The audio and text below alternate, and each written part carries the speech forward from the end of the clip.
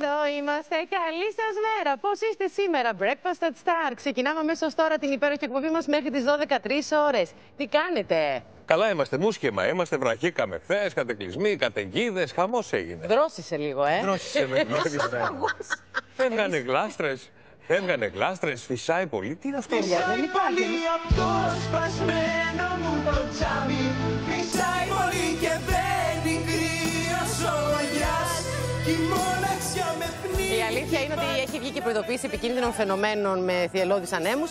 Αλλά φτιάχνει μόνο, εντάξει. Μια δροσούρα τη θέλαμε. Σήμερα και αύριο έχουμε εκεί στο 20-21. Μια χαρά, ωραιότατα. Μετά Τριαντάρι σκρόνη όμως. πάμε στα τριαντάρια πάλι. Ωραιότατα. 21, 14 βαθμούς. Εμείς ξεμείναμε λίγο έξω, παγώσαμε με τον τάφο. Εμείς ξεκίνησε επεισοδιακά η μέρα μας γιατί κλειδωθήκαμε με την ανάξιο από το κτίριο. Α, για πες. Τώρα εδώ πριν μπούμε μέσα στο πλατό. Πώς το καταφέραμε; Από εκεί πέρα με τηλέφωνο να έρθουν να μας ανοίξουν. Κλείσαν οι πόρτες από τον αέρα και δεν άνοιγαν με τίποτα. Εγώ τις έκλεισα.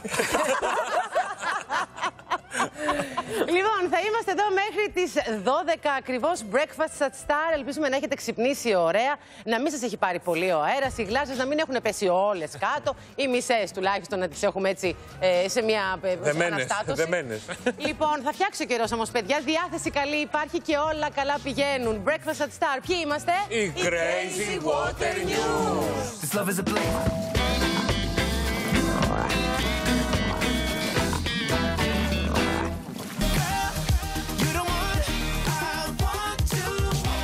Η Νάνση Αλεξιάδη υποδέχτηκε το Breakfast at Star στο γύρισμα του νέου της βίντεο κλιπ και μίλησε για όλα. Δεν είναι κάτι το οποίο το έχουμε σχεδιάσει για να γίνει αυτό το καλοκαίρι. Θα γίνει κάποια στιγμή όταν είναι να γίνει.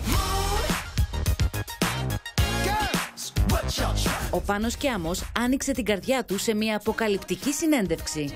Έχουμε κάνει αρκετά λάθη και με τον πατέρα μου, αλλά όταν είσαι με τον πατέρα σου υπάρχει ένα σίγουρο πράγμα.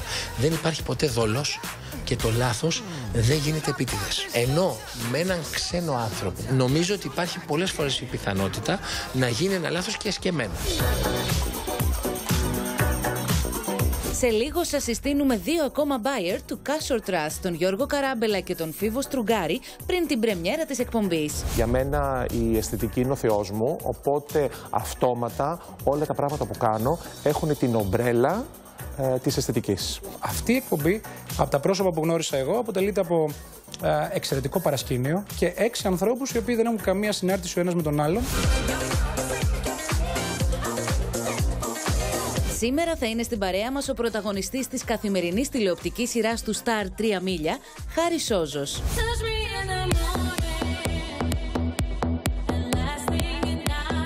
Στις 11.30 η Άση Μπίλιου αναλύει αστρολογικά σε ποιο ζώδιο έχουμε την Αφροδίτη στο οροσκόπιό μας και τι σημαίνει για τον έρωτα και το χρήμα στη ζωή μας.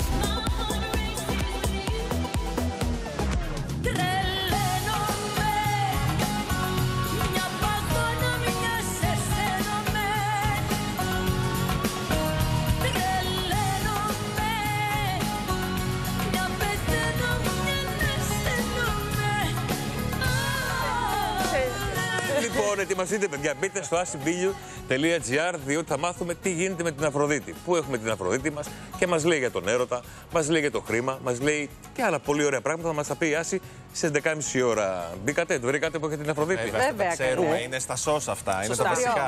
Βριό, στάσο. Υδροχό. Λιοντάρι. Λιοντάρι, ντάρι, Ναι, ναι, ντάρι. ναι. Παιδιά, εγώ στον εγώ καιρό. Ω. Εγώ στο σκορπιό. Θα τα μάθουμε όλα αυτά βέβαια. Σε 11.30 ώρα τι συμβαίνουν όλα αυτά. Βρείτε και εσείς τη δική σας Αφροδίτη. Πέντε διαφορετικά ζώδια, ε. Δεν υπάρχει κάτι. Καλό είναι αυτό. Δεν ξέρω. Πάμε στην αντίστροφη μέτρηση στο νούμερο 12. Σωστά. Πάμε στο νούμερο 12 και είναι ένα πρωινό που σήμερα θα σε ξετρελάνει, βρε. Ακούστε τώρα γιατί. από την Ελισάβετ Κυρίτσι. Σε περίπτωση που σε ενδιαφέρει, ας πούμε, να ξέρεις ότι χώρισε ο Γιώργος Λέτζας με την αγαπημένη του Χριστίνα Στεφανίδη μετά από τέσσερα χρόνια, ολόκληρα τέσσερα χρόνια σχέσης. Τώρα, σε περίπτωση ας πούμε, που δεν σε ενδιαφέρει, θα πάω στο επόμενο θέμα, γιατί εκεί ο Σπύρος Χατζιαγγελάκης στη συνέντευξη που έδωσε στο Γρηγόρη Αρναούτογλου αποφασίζει να κάνει στροφή στην καριέρα του και να ανοίξει, λέει, αυγουλάδικο. Πώς είναι το μπεργκεράδικο; Αυγουλάδικο. Αυγουλάδικο. Ναι, ωραίο. γιατί του αρέσουν πάρα πολύ τα αυγά. Και να ξέρετε ότι χθες είχε γενέθλια ο Γιώργος Πατούλης, να το ευχηθούμε κι εμείς χρόνια πολλά, αλλά υπήρχε μια απουσία. Δεν την κάλεσε την κυρία Πατούλη ή την κάλεσε και δεν πήγε. Στο νούμερο 12.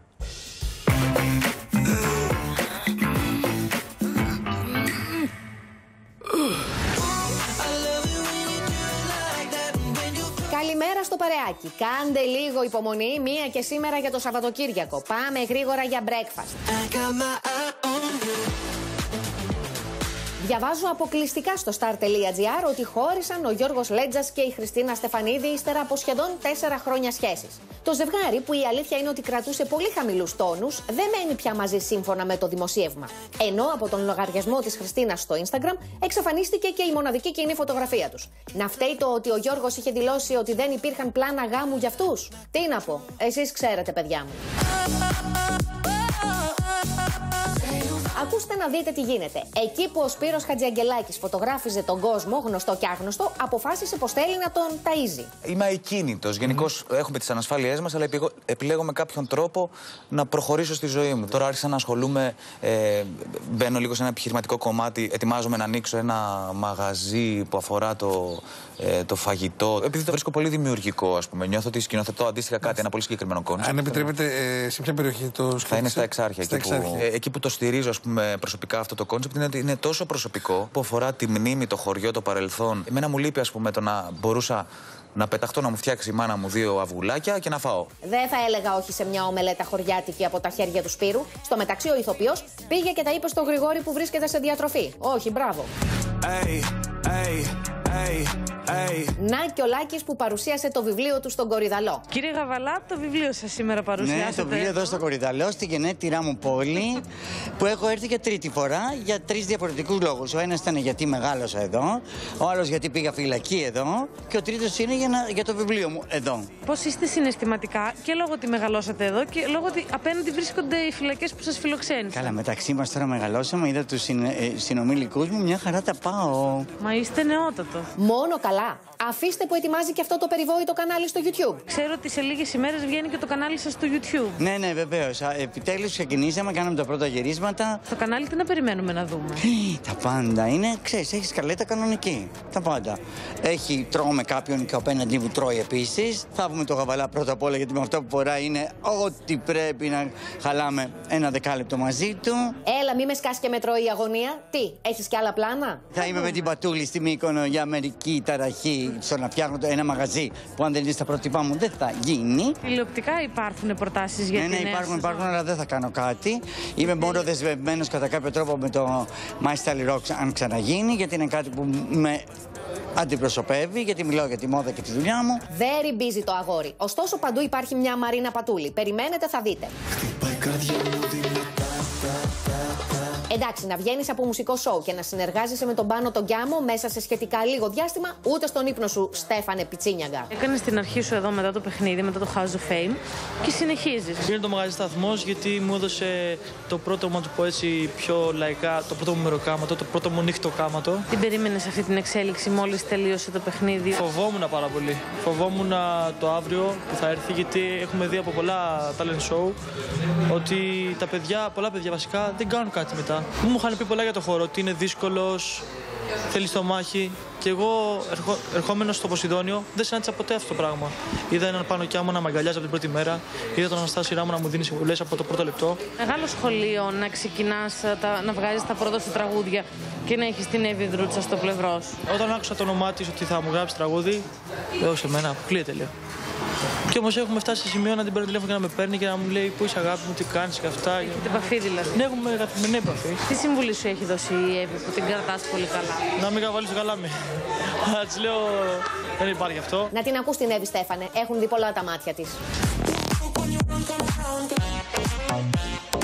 Τα 61 σύμφωνα με το διαδίκτυο έκλεισε ο Γιώργος Πατούλης και το γιόρτασε. Χωρίς Μαρίνα βέβαια. Θα ήταν awkward εδώ που τα λέμε. Σε λίγα χρόνια το ξαναβλέπουμε. Η κυρία Μαρίνα Πατούλη, σας έστειλε ευχές. Βεβαίως η Μαρίνα η Πατούλη μιλάμε, επικοινωνούμε.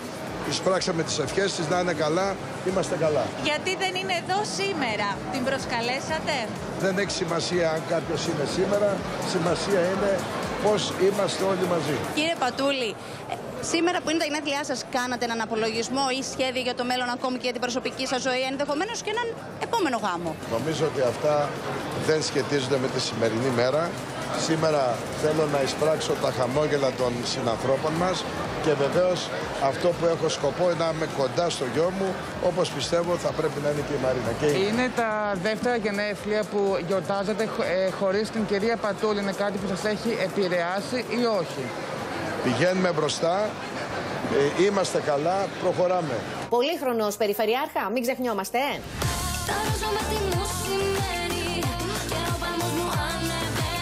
Ε. Η Κόνη Μεταξά ετοιμάζεται για γάμο, αλλά θέλει να αποκαταστήσει και τον μπαμπά της, τον Λευτέρη Πανταζή. Αμέ, έτσι λέει σε συνέντευξη στο γιου. Του έχεις πει να βρει μια γυναίκα και να ξαναφτιάξει τη ζωή του; Ναι, θα ήθελα να είναι με μια μεγάλη, σοβαρή γυναίκα και όχι με μια 19χρονη, γιατί τότε εγώ θα φαίνομαι γριά δίπλα της. Λεπά, τώρα να σε δω. Αυτό για τον Λευτέρη που ξέρουμε το λες και πρόκληση. Όχι ότι είναι απαραίτητο ένα παιδί δημοσιογράφου, ηθοποιού, τραγουδιστή, συγγραφέα, ας πούμε, να ακολουθήσει τα βήματα του γονιού του, αλλά στην περίπτωση του Φίβου Παπαδάκη, γιου του Γιώργου, ήταν κάπως αναπόφευκτο. Εγώ μεγάλωσα σε ένα σπίτι με 10 τηλεοράσεις. Τον άκουγα συνέχεια στο τηλέφωνο να μιλάει με τους συνεργάτες του. Άκουγα πώς οργανώνεται μια εκπομπή. Στη δική μου περίπτωση ήμουνα δημοσιογράφος πριν το καταλάβω. Δηλαδή, ήθελα να μαθαίνω τα πράγματα πριν από όλους. Στο πλατό ερχόσουν, να. Έχω έρθει αρκετές φορές. Αν περιμένετε πάντως να τον δείτε στο ίδιο πλατό με τον μπαμπά, θα περιμένετε πολύ νομίζω. Ενδιαφέρον τηλεοπτικό μπορεί να είχε. Βρε, απ' όλα Έτσι. θα είχε; Συνεργάτες δεν θα μπορούσαμε να είμαστε. Όταν μου έγινε η πρόταση από το Open, είχα και μια ανακούφιση ότι είναι άλλο κανάλι. Το θεωρώ απίθανο. Βέβαια, ποτέ μιλε ποτέ, αλλά προς το παρόν το θεωρώ. Μου το κάνεις αυτό, είναι με χιλιά στην απίθανο. καρδιά. Ο Φίβος τα είπε με τον Γρηγόρη. Ωραίο δεν θα ήταν μπαμπάς και γιος στην ίδια εκπομπή για να μοιράζονται πράγματα. Γιατί θα πέφτει και το προσωπικό στο τραπέζι άσχετα με τις ειδήσεις και οι απόψεις του καθενός. Θα... Εδώ μπαίνουν τώρα το τι θα πούν οι άλλοι. Ε, γιατί, ας πούμε, ακολούθησε τα χρόνια του μπαμπά του, τη δουλειά του μπαμπά Εντάξει, του. Το οποίο εγώ αυτό το καταλαβαίνω. Δηλαδή, απλά στην τηλεόραση είναι που μας κλωτσάει λιγάκι, στη, στο τραγούδι ή στην υποκριτική, όταν ο μπαμπάς ή η μαμά ε, έχουν αυτό το επάγγελμα και το ακολουθούν τα παιδιά. Μα είναι με αυτό που ζεις με στο σπίτι σου. Όταν στο σπίτι σου υπάρχει αυτό το πράγμα και το ζεις καθημερινά, η τριβή και αυτό σε κάνει να θες να ασχοληθείς με αυτό. Είναι λογικό. Εάν σου αρέσει, Το αν σου αντίθετο. αρέσει. Ή τελείω το αντίθετο. Ή φεύγεις συμβαίνει. τελείως, ναι. Δηλαδή και εγώ μεγάλωσα μέσα. Ο πατέρας μου είχε ραδιόφωνο από 17 χρονών. Μέσα στους δίσκους στα βινίλια που σου λέγα. Πού κατέληξα. Ναι, αυτό σου λέω συμβαίνουν και σε, άλλες, σε άλλα επαγγέλματα. Δηλαδή να πάρει κάποιος την εταιρεία του μπαμπά και να συνεχίσει, αν του αρέσει το αντικείμενο. Όταν γίνεται αναγκαστικά κάποια Μιλάτε στιγμή θα αναγκαστικά. βγει αυτό και μετά ή θα τα κλωτσίσει όλα και θα φύγει ή θα κάνεις. Εδώ φαινόταν και αναπόφευκτο λίγο, γιατί όταν ας πούμε τον άκουγε τον κύριο Παπαδάκη να μιλάει στα τηλέφωνα, να ψάχνει την είδηση ή να βρίσκεται στα πλατό, ήταν κάπως, ε, φαντάζομαι, η πορεία του προδιαγεγραμμένη. Δηλαδή, κάπως έτσι θα κατέληγε. Ή καθόλου. Δηλαδή σε, ε, κάτι εντελώς διαφορετικό. Το έχει δει σε βάθος το επάγγελμα, το έχει ζήσει σε βάθος το επάγγελμα. Όταν έχεις τον παπαδάκι μπαμπά και από, μω- από μωρό, γιατί πόσα χρόνια είναι ο παπαδάκι στη τηλεόραση; Όσα χρόνια είναι αρκετά. ιδιωτική τηλεόραση; Ε, φαντάζομαι έχει δει τα πάντα.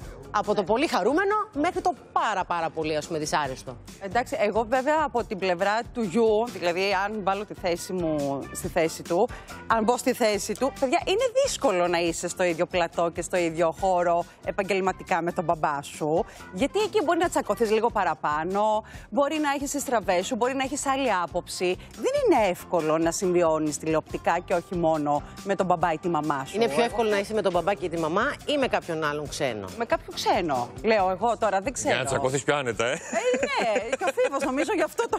Ναι, αρκεί αυτός ο ξένος να είναι κάτω, πάνω από 19 χρονών. ναι, ναι. Με- Για να- Μέχρι εκεί. Γιατί- Γιατί είπε και η εικόνη μεταξά για Ναι. το πόσο πρέπει να είναι η σύντροφος του Λευτέρη Πανταζή. Ότι θα αποφασίσει δηλαδή η εικόνη. Όχι, θα αποφασίσει η εικόνη, γιατί είπε ότι το κριτήριο είναι για να φαίνεται αυτή πιο, Πιο νέα. πιο φρέσκια. ναι, εντάξει. Αυτό είναι ικανή χιούμορ ότι όντως πραγματικά θα θέλει να δει τον μπαμπά, τον μπαμπά της με κάποια ας πούμε πιο μεγάλη. Εγώ νομίζω ότι πετάει τη σπόντα, αλλά το βάζει και με λίγο χιμωράκι. Ναι, αυτό, Ξέρεις ότι δηλαδή- τύπου και όποιος το πιασε, το πιασε. Γιατί προφανώς είναι αυτό που λέει ποιο έχει καεί από το χιλόφιστα και το γιαούρτι ανάποδα, κάπως έτσι. Γιατί δεν- εγώ πιστεύω ότι ο αέρος χρόνια δεν κοιτά. Δηλαδή, ό,τι ηλικία και να έχει και ο Λευτέρης μας έχει συνηθίσει λίγο σε πιο, πιο νεανικούς έρωτες. Ναι, εντάξει. Αλλά ρε παιδί μου, άλλα ενδιαφέροντα έχεις 19 χρονών, άλλα στα 50, τα 55, τα 60. Εμείς, παιδιά, έχουμε δει τον Ελευθέρη Πανταζή με διάφορες κοπέλες, νεότερες, αλλά έχουμε μείνει εκεί. Η Κόνη έχει δει και τι έχει γίνει. Σε αυτές τις Ναι. περιπτώσεις. Οπότε σου λέει: Ω, δεν θέλω άλλο. Δεν θέλω τόσο νέα. Πιο μεγάλη. Δεν του πήγε καλά. Στο ίδιο σπίτι θα είναι, θα το βλέπει κάθε μέρα από το πρωί μέχρι το βράδυ; Ε, πάνω κάτω νομίζω μένουμε. Α, ναι. Νομίζω δεν θα Πάσο. το ρωτήσει κιόλας. Δηλαδή, δεν, δεν, ρωτα- δεν θα ρωτήσεις την κόρη σου, ας πούμε, αν ε, χτύπησε η καρδιά σου για την οποιαδήποτε. Βέβαια. Φαντάζομαι. Εντάξει, και το τέλος μιας σχέσης δεν έχει να κάνει με τις ηλικίες. Αυτό με τα ενδιαφέροντα που είπε, συμφωνώ εν μέρη, αλλά δεν έχει να κάνει. Ο Γιώργος Πατούλης, ας πούμε, που τελείωσε την, ε, το γάμο του, δεν είχε να κάνει με την ηλικία και τη διαφορά. Είχε να κάνει με το ότι δεν ταιριάσαν πλέον χαρακτήρες και μια, υπήρξε μια συμφωνία. Αυτό όμως δεν σημαίνει ότι δεν έχουν καλή σχέση.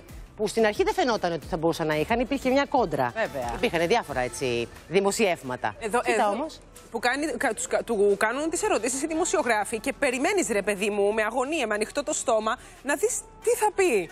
Δεν νιώθετε ότι κάνει προεκλογικές δηλώσεις. Ναι, ναι, είναι συγκεκριμένη η κατάσταση, η διάθεση. Θα φυτέψουμε δεντράκια. Παιδιά, όχι. Αν το βάλεις στο mute, δεν θα έλεγα λέει για την πατούλη, ρε παιδί. Από τη γλώσσα του σώματος. Θα κάνουμε ποδηλατόδρομος στην Πανεπιστημίου. Ε, Πώς αισθάνεστε που δεύτερη χο- χρονιά γιορτάζετε τα γενέθλια χωρί τη Μαρίνα. Κοιτάζουμε μπροστά. Αυτό είναι ναι. πολιτικ- προεκλογική ομιλία. Και τι έπρεπε Κοιτάμε να πει μπροστά. δηλαδή; Ναι, ρε παιδί μου. Ε, εγώ θεωρώ ότι όταν είσαι πολιτικός σου, ε, το, αυτό το πράγμα το βγάζεις Βγαίνει παντού. και- Ναι, ναι, ναι, σε ό,τι και να σε ρωτήσουν. Τι φάγατε χθες; Κοιτάζουμε μπροστά και θα φάμε κάτι πολύ ωραίο σήμερα. Κοιτάμε μπροστά και είδαμε ένα φούρνο. Πήραμε δυο μπουγάτσες. Ε, Απαντάνε, αλλά δεν απαντάνε ταυτόχρονα. Είναι ένα τέτοιο πράγμα. Είναι ωραίο όμως που φαίνεται να έχουν, να έχουν ωραία σχέση. Είναι πολύ ωραίο. Ναι, έχουν μια ωραία υγιεινή, υγιεινή, η- υγιή Υγιεινή σχέση. σχέση, πάρα πολύ Παναγία μου, τι Να γίνεται παίρνετε μια σήμερα σχέση και πατούλη κάθε μέρα είναι πάρα πολύ υγιεινή. Καθημερινά. Θα τη δοκιμάζετε κάθε πρωί για Ο γιατρός πρωινό. το κάνει πέρα. Λοιπόν, ο Στέφανος Πιτσίνιαγκας, ε, πόσα παιδιά έχουν βγει από talent shows; Αρκετά. Κοίτα να δεις αυτό το παιδί με ένα τραγούδι. Το τραγούδι, παιδιά, πιστεύω ότι είναι. Το πρώτο Συμφωνώ. τραγούδι που βγάζεις. Ναι, ισχύει αυτό. Εντάξει, είναι ένα hit το οποίο, παιδιά, μας κάνει να χτυπάει η καρδιά μας πάρα πολύ δυνατά. Οπότε το ακούς, το ξεσηκώνεις. Αλλά θέλει και λίγο προσοχή. Αυτή η κουβέντα που του είπε η Εύη Δρούτσα, ότι πρέπει να προσέχει, να μην το πάρει πάνω του και να μην ψωνιστεί, πιστεύω ότι είναι το πιο σημαντικό για αυτά τα παιδιά. Όσες φορές τον έχω δει να μιλάει, δεν μου φαίνεται ψωνισμένος καθόλου. Όχι, και εμένα δεν ακόμα μου φαίνεται. φαίνεται. Ε, είναι λίγο νωρίς όμως, ε. Ναι. Ένα τραγούδι, δύο. Κανένας έχει βγάλει. Πρέπει στην πορεία θα δούμε. Ε, το τραγούδι, ας πούμε, άντε βγαίνει ο Πάνος Κιάμος. Και μετά βγαίνει ο Πιτσίνιαγκας. Λέει το δυνατά τα, τα Μία πόσο φορά. κρατάει, 2,90 σε, σε λεπτά. πει μετά κι τι άλλα. θα κάνεις, είσαι που προλαβαίνεις, ας πούμε, να πας Θα μια βάλει και άλλα τουαλέτα. τραγούδια αλωνών. Α, θα, θα ανοίξει ρεπερτόριο, θα το εμπλουτίσει το Ναι, ρεπερτόριο. δεν θα πει άλλα. Ε, εδώ, εδώ ακόμα και μεγάλοι καλλιτέχνες που ε, καταξιωμένοι με πολύ μεγάλη δισκογραφία και λένε τραγούδια άλλων καλλιτέχνων. Δεν θα πει τώρα Πιτσίνιαγκα. Ναι, δε- δεν ξέρω αν μπορεί, γι' αυτό αναρωτιέμαι. Άσε όχι που θα κα- το λέει και τρει-τέσσερι φορές. Δεν το ξεπετάμε έτσι το τατατά. Σωστό και αυτό, γιατί αυτό κάνουν οι πρωτοεμφανιζόμενοι. Το λένε πόσες φορές; Ε, σίγουρα έξι. Έχει Τρει-τέσσερι. βγάλει κι άλλο, παιδιά. Τώρα έβγαλε κι άλλο. Α, συγγνώμη που δεν το ξέραμε. Ναι, θα το μάθουμε. Θα γίνει hit του καλοκαιριού, θα δείτε. το. Να το. Ναι. Άρα, Ωραία, Άννα, έξι λεπτά γέμισα. τρεις το τατά και τρεις το όλα δυνατά. Πόσο να είναι στο σύνολο επί τρία το κάθε τραγούδι. Εντάξει, μια χαρά. Ναι, αλλά σκέψου η ενέργεια όταν βγαίνει το δυνατά, τα, τα, τι γίνεται από κάτω. Αυτή η ενέργεια που θα παίρνει από τον κόσμο. Να πω κάτι. Πιστεύετε, γιατί και εγώ το είπα κιόλας πριν, είναι όντως μόνο το τραγούδι, ρε παιδί μου, ή είναι Όχι, και είναι η κάτι εταιρεία. άλλο. Είναι- ε, δεν υπάρχει συμβόλαιο ενός έτους Άλλο τη θέλω μέρα να σου που πω. βγήκε Πόσα από παιδιά το έχουν House βγει of από Fame; talent shows; Πόσα παιδιά; Πρέπει να κάνουν Έχουν τον βγάλει τραγούδια. Μήπως είναι και ο άνθρωπος, μήπως είναι και οι δημόσιες σχέσεις, μήπως είναι και η προσωπικότητα, μήπως είναι και η υπομονή. Μήπως είναι πολλά Το πράγματα. timing σίγουρα πάντα παίζει ρόλο γιατί δεν ξέρεις τι μπορεί να θέλει η αγορά εκείνη τη στιγμή. Μπορεί ε, ο Στέφανος να εξυπηρετούσε κάτι που εκείνη τη στιγμή έλειπε από την, ε, από την αγορά. Επίσης το παιδί είναι ένα λαμπερό παιδί, όντως ρε παιδιά. Δηλαδή είναι, μ, χαίρεσαι όταν το βλέπεις. Οπότε έχει στοιχεία που μπορούν ε, να τον κάνουν ε, αυτή τη στιγμή να πάει πολύ καλά σε κάποιες πίστες, όχι; Πάντως, Ναι, συμφωνώ, και, γιατί συμφωνώ. πήγε, με τον Πάνο Κιάμο πήγε. Νομίζω σε μια πολύ μεγάλη, σε πολύ δυνατό σχήμα πήγε. Οπότε εκεί θα καριωθεί. Τώρα θα δούμε τι θα έρθει στο μέλλον. Και ξέρεις, τι λένε ρε παιδί μου, ότι τα παιδιά τώρα που λέει Α, δεν πάω σε talent show γιατί κανείς δεν κάνει καριέρα. Και ξαφνικά βγαίνει ο Πιτσίνιακα και λέει Α, τελικά κάνουν, κάτσε να Ναι. πάω. Και αυτό και από την αρχή. και πάει έτσι. Λάκης Γαβαλάς, υπέροχος. Υπέροχος. Τρεις φορές λέει έχω πάει στον Κορυδαλό. Υπέροχος. Παράδειγμα, η ζωή του για μένα είναι παράδειγμα. Και τώρα που ετοιμάζει και το μαγαζί με την Μαρίνα Πατούλη στη Μύκονο και το βιβλίο που βγάζει και δεν το βάζει κάτω και το τα έλεγα και εδώ που είχε έρθει. Πόσο μεγάλο παράδειγμα είναι να είμαι χαρούμενος στη ζωή μου και να μην το βάζω κάτω ποτέ ό,τι και να μου συμβεί. Και περιμένουμε να δούμε το YouTube. Τι θα είναι το κανάλι, τι show θα υπάρχει εκεί. Εντάξει, παιδιά, αυτό θα είναι απολαυστικότατο, πιστεύω, αυτή η εκπομπή. Έτσι, κανονικά με σκαλιτίτσα. Και φανταστείτε να σχολιάζει τώρα την επικαιρότητα ελεύθερα, γιατί στο YouTube δεν έχει κουτάκια. Μπορείς να εκφραστείς πει να πεις την άποψή σου και τσούκα. Εμείς θα το παίρνουμε Ε. και θα το παίζουμε εδώ στο πρωινό. στο breakfast. Ατόφιο. Οπωσδήποτε. Όπως είναι. Όχι, νομίζω ότι και μόνο που θα κάνεις συζητήσεις με ενδιαφέροντες ανθρώπους, μόνο και μόνο αυτό που δεν σας θυμίζει λίγο το κανάλι του YouTube του Ηλία Ψινάκη. Έλα, σταμάτη, ήθελα να το πω, αλλά είπα να μην το πω εγώ. ναι, Αλλά ε, νομίζω ότι και μόνο που θα συναντάει ανθρώπους και θα τον ακούσει να συζητάει και να ακούς μόνο τις απόψεις του, έχει και ωραίο λεξιλόγιο, έχει και αυτό το, το συγκλονιστικό δικό του χιούμορ. Οπότε νομίζω ότι τα views τα έχει δεδομένα ο Λέξης Βασικά, Παπαλάς. έχει και ο ίδιος πάρα πολύ ενδιαφέρον και εμένα μου αρέσει πάρα πολύ που ενώ ρε παιδί μου, ας πούμε, στον Κορυδαλό ξέρουμε ότι έχει περάσει δύσκολα. Ωραία. Παρ' όλα αυτά, το περιγράφει με έναν τρόπο, με ένα χιουμοριστικό τρόπο που αυτοσαρκάζεται και είναι σαν να ήταν μια περίοδος από τη ζωή του που αγκάλιασε εκείνη η δύσκολη περίοδος. Και το ξορκίζει κιόλας με Ακριβώς. αυτόν τον τρόπο. Γιατί σε άλλες περιπτώσεις δεν θα ήθελε κανένας να αναφέρεται σε μια σκοτεινή περίοδο της ζωής του που δεν πέρασε καλά. Μα ναι, αυτό του είχα πει και εγώ. Του λέω μου είχε κάνει εντύπωση επειδή το παρακολουθούσα στενά και τον, ε, πραγματικά τον ε, ήθελα να τον βλέπω πώς είναι και όταν βγήκε και αυτά. Δεν υπήρξε μία στιγμή, σε μία κάμερα ρε παιδί μου, που να δεις στο βλέμμα του μία, ε, έναν, ε, μια λύπη, μία κατάρρευση. Τίποτα, πουθενά, πουθενά. Λοιπόν, ένας άνθρωπος των θετικών επιστημών όπως είναι ο Σπύρος Χατζιαγγελάκης, τι σημαίνει αυτό, ότι με ό,τι και να μου έρθει να ασχοληθώ, δεν υπάρχει περίπτωση να μην το κάνω καλά. Από την υποκριτική και την ε, φωτογραφία, τώρα πάμε στην εστίαση. Ε, τι εστίαση είναι αυτό, έτσι; Ναι, αλλά σου λείπει η αισθήση από να φας ένα τηγανιτό αυγό ή το άλλο που βάζανε στον πόλο με το ψωμάκι, τη ζάχαρη, πώς το λέγανε; Ποιο; Μελάτο. Μελάτο. Πώς το φτιάχνει εσάς η μητέρα σας. Στο Αυγό με ποτήρι, ζάχαρη. αυγό, Με αλάτι μήπως. ψωμάκι, Αλάτι, αλάτι. Λίγο Με ζάχαρη αλάτι. βάζανε, δεν θυμάμαι. Αλάτι. Ήμουν μικρός, δεν Κάμα θυμάμαι. χρόνια βάζανε αλάτι. Δεν ξέρω. Τώρα ο Σπύρος θα βάλει ζάχαρη στα εξάρχεια. Ε, μου λείπει το μαμαδίστικο φαγητό, έχει δίκιο σε αυτό. Αν δουλεύεις όλη μέρα, αν είσαι όλη μέρα στους δρόμους, ε, δεν μπορείς πόσο να φας junk food. Λες να φάω ένα μαγειρευτό, να φάω ένα βέβαια. λαδερό, να φάω ένα αυγό τηγανιτό, παιδιά. Μα και το απλό, πρώτον είναι πιο δύσκολο και δεύτερον δεν το βρίσκει εύκολα. Έτσι. Δηλαδή το πιο απλό, μια ξεκάθαρη γεύση, γιατί όλοι πια έχουν πειραματιστεί πάρα πολύ με στις κουζίνες και γιατί όχι βέβαια, αλλά καλό είναι να υπάρχουν όλα. Εμένα μου αρέσει πολύ αυτή η ιδέα. Ειδικά αν είναι Ναι. εσύ το αυγουλάδικο πριν το πες μόνη σου. ή το αυγουλάδικο. όχι, όχι, αυγουλάδικο θέλει να ανοίξει. Α, έχει μόνο αυγά, όχι, δηλαδή. έχει Και άλλα φαγητά. Όχι, αποζητάει το καθαρό το αυγό. Οπότε, αν είναι ε, απλό όπως λες και εσύ, μπορεί στον κατάλογο, ας πούμε, να λέει αυγό ποσέ, αυγό βραστό, αυγό μελάτο, αυγό μελέτα. Εντάξει, μπορεί να έχει τι φασολάκια κεφί. και μπάμιες, μπορεί να έχει και τέτοια. Ναι, και νερό, ας πούμε. Το- τόσο καθαρά και Πάντως απλά. σκεφτείτε ότι α- όλα αυτά θα τα, κάνει, θα τα ανεβάζει στο Instagram σε φωτογραφίες τα Όντως. φαγητά. Έτσι. Οπότε δηλαδή καταλαβαίνετε ότι αυτό το πάντρεμα Ναι. θα λες Παναγία μου να πάω σε εξάρχεια να φάω από το Σπύρο Χατζιαγγελάκη. Αυγά. Αυγά. Αυγόφετες απάνω. Αυγάτζο μου, αυγά. Αυγόφετες.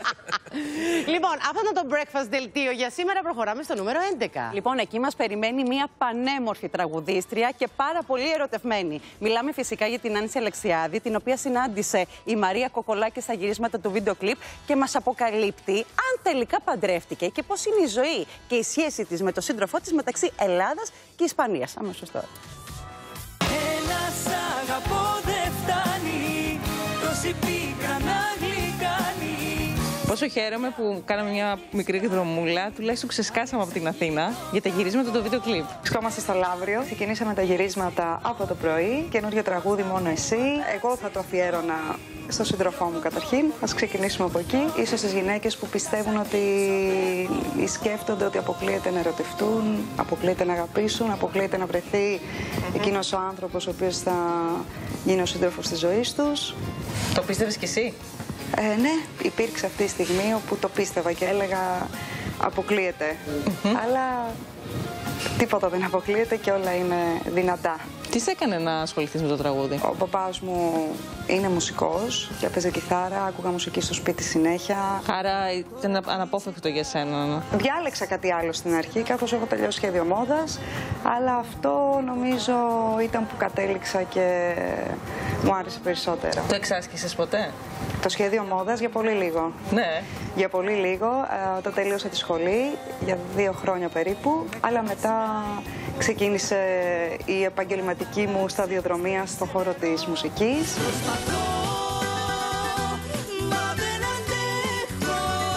Τώρα είσαι μεταξύ Ελλάδας και Ισπανίας; Αυτή τη στιγμή ναι. Ε, βρισκόμαστε μεταξύ Ελλάδας και Ισπανίας με τον σύντροφό μου.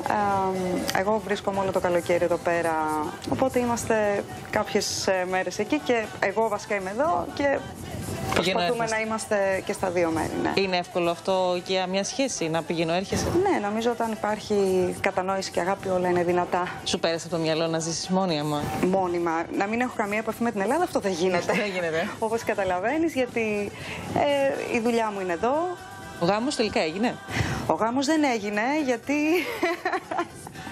με όλες αυτές τις μετακινήσεις που, α, που έχουν γίνει από το Ντουμπάι στη, στην Ισπανία και μετά εδώ πέρα δεν έχουμε προλάβει, αλλά όλα θα δρομολογηθούν και όλα θα γίνουν. Ο γάμος θα γίνει στην Ελλάδα. Ε, Εμείς είμαστε λίγο της τελευταίας στιγμής. Όχι, δεν είναι κάτι το οποίο το έχουμε σχεδιάσει για να γίνει αυτό το καλοκαίρι. Θα γίνει κάποια στιγμή όταν είναι να γίνει.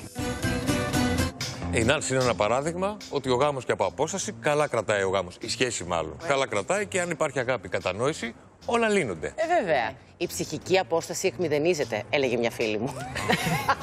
Παιδιά δεν έχει αλλάξει καθόλου το κορίτσι αυτό. ίδια είναι, Καθόλου. καθόλου. Ε, η κοπέλα δηλαδή του Fame Story τότε τρία, νομίζω, με τα κατάξανθα μαλλιά και τα γαλανά τα μάτια. Θυμάμαι ένα πλάνο που έκανε κάποια στιγμή που τραγούδισε στο Fame Story που την έπαιρνε από κάτω και έβλεπε ένα αγαλμα, α- άγαλμα. Ναι, άγαλμα εννοούσα, αγαλμάτινο έτσι σώμα. Ε, πάρα πολύ καλή. Μπράβο της. Είχαν τη δω πάρα πολλά χρόνια. Πάντως, παιδιά, δεν είναι εύκολο τώρα να είσαι στην Ελλάδα και στην Ισπανία και να έχεις μία σχέση τόσα χρόνια. Δεν είναι εύκολο Γιατί δεν να το έχεις έκανες; σχέση. Δεν ξέρω αν θα το έκανα. Θα το σκεφτόμουν. Ανάλογα την περίπτωση, βέβαια. Ποτέ μην λες ποτέ. Αλλά είναι δύσκολο. Είναι δύσκολο. Ε, Γι' αυτό κρατάει, γιατί υπάρχει η απόσταση. Η σχέση όταν υπάρχει απόσταση δεν υπάρχει τόση τριβή, δεν υπάρχει ο τσακωμός, δεν υπάρχει μανούρα. Γιατί όταν βρίσκεστε, τι συμβαίνει, Εσύ θέλετε να κλείσε. περάσετε καλά. Όχι, εσύ κλείσε. Όχι, εσύ κλείσε. Ναι, όχι, Κατάλαβες αυτό.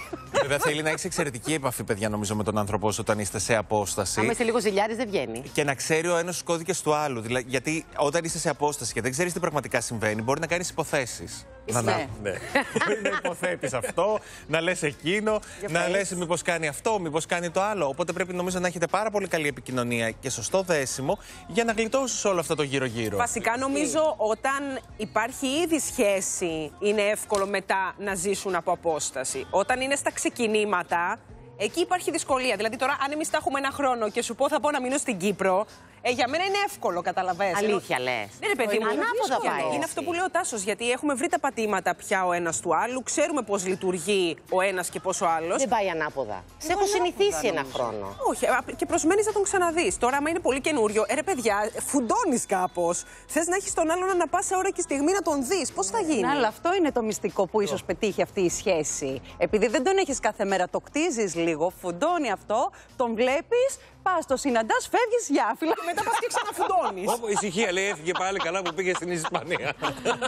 Νάνση μου, αν μας βλέπεις, ε, είναι, είναι ωραία η σχέση από απόσταση άμα υπάρχει έτσι κατανόηση και επικοινωνία. Όπως υποτάζω δηλαδή εδώ τα παιδιά. Εγώ δεν ξέρω, με την Ανά είμαστε λίγο πιο. Παιδί μου, είναι όπως ξεκινήσει μια σχέση. Αν ξεκινήσει από απόσταση, μαθαίνεις να ζεις με αυτό. Σωστό, σωστό. Ε, Αν μπει, η μαθαίνεις. ζήλια, αν μπει η ζήλια, είτε είσαι κοντά είτε είσαι μακριά, μπήκε, τελείωσε. Στο δι- δίπλα μου να είσαι, εγώ μπορώ να ζηλεύω και ότι κοίταξε αυτόν. Ναι, ωραία, έχει- είσαι στη Βαρκελόνη και είμαι στην Αθήνα. Ναι. Και σε παίρνω τηλέφωνο και δεν το σηκώνεις. Ε, καλά, δεν μπορώ να έχω δουλειά. Ωραία, και μετά από μία ώρα δεν με έχεις πάρει ακόμα πίσω. Ναι. Πόσο καλή Και επικοινωνία. σε να πήρα σε έχουμε. μια μισή ώρα και σου λέει, Ελληνάκι μου, τι έγινε; με ρωτάς εσύ, πού ήσουνα, Ναι, είχα δουλειά. είχα δουλειά. Ναι, Ωραία επικοινωνία. Η επικοινωνία Δεν θα με ρωτήσει τι δουλειά πραγματικά είχα. σώζει τη σχέση. δεν με ρωτάει τίποτα. δεν θα σου απαντήσω κι εγώ Δεν ξέρω, τίποτα. παιδιά, ανάλογα. ανάλογα. Ε, Είναι θέμα χαρακτήρα ξεκάθαρα αυτό. Ναι, και πόσο. φαίνεται ότι έχει πετύχει πάρα πολύ για να σκέφτονται και το γάμο κάποια στιγμή να τον κάνουν. Με το καλό να το ευχηθούμε, έτσι. Το ζευγάρι. Λοιπόν, ευχαριστούμε πάρα, πάρα πολύ την Άνση Αλεξιάδη που ήταν μαζί μας στο breakfast. Πάμε σε διαφημιστικό διάλειμμα και αν θέλετε να μάθετε πού έχει, τι είναι αυτό που σας δίνει χαρά και ευχαρίστηση στη ζωή σας, σε επαφή με τους άλλους βέβαια. Τι είναι αυτό που σας δίνει την ευτυχία στο ερωτικό κομμάτι; Και όχι μόνο, θα μπείτε στο asibiliu.gr για να βρείτε σε ποιο ζώδιο έχετε την Αφροδίτη σας. Αυτό εξηγεί πάρα πολλά. 11 και μισή, Ασυμπίλιο θα μας εξηγήσει όλα. Διαφημιστικό διάλειμμα και επιστρέφουμε. Τάσος BBC της, BBC της News, Τζόρτζια Γεωργίου. Έχουμε βεβαίως, κάνε μου λιγάκι scroll, αλλά και Survivor. Και ο εξαιρετικός, πολύ αγαπημένος μας Πάνος Κιάμος θα μην πάρει μαζί μας breakfast.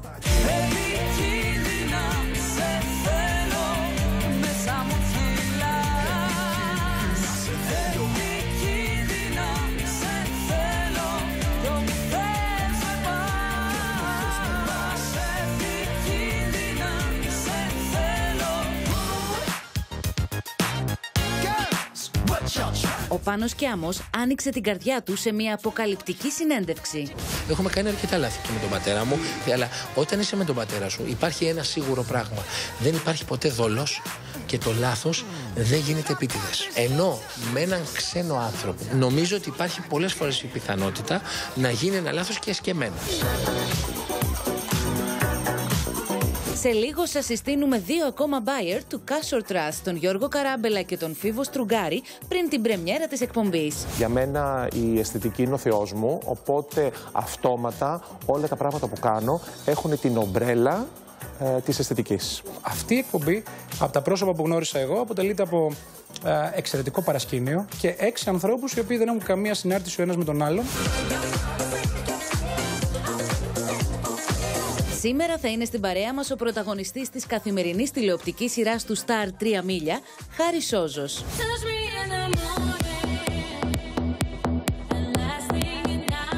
Στις 11.30 η Άση Μπίλιου αναλύει αστρολογικά σε ποιο ζώδιο έχουμε την Αφροδίτη στο οροσκόπιό μας και τι σημαίνει για τον έρωτα και το χρήμα στη ζωή μας.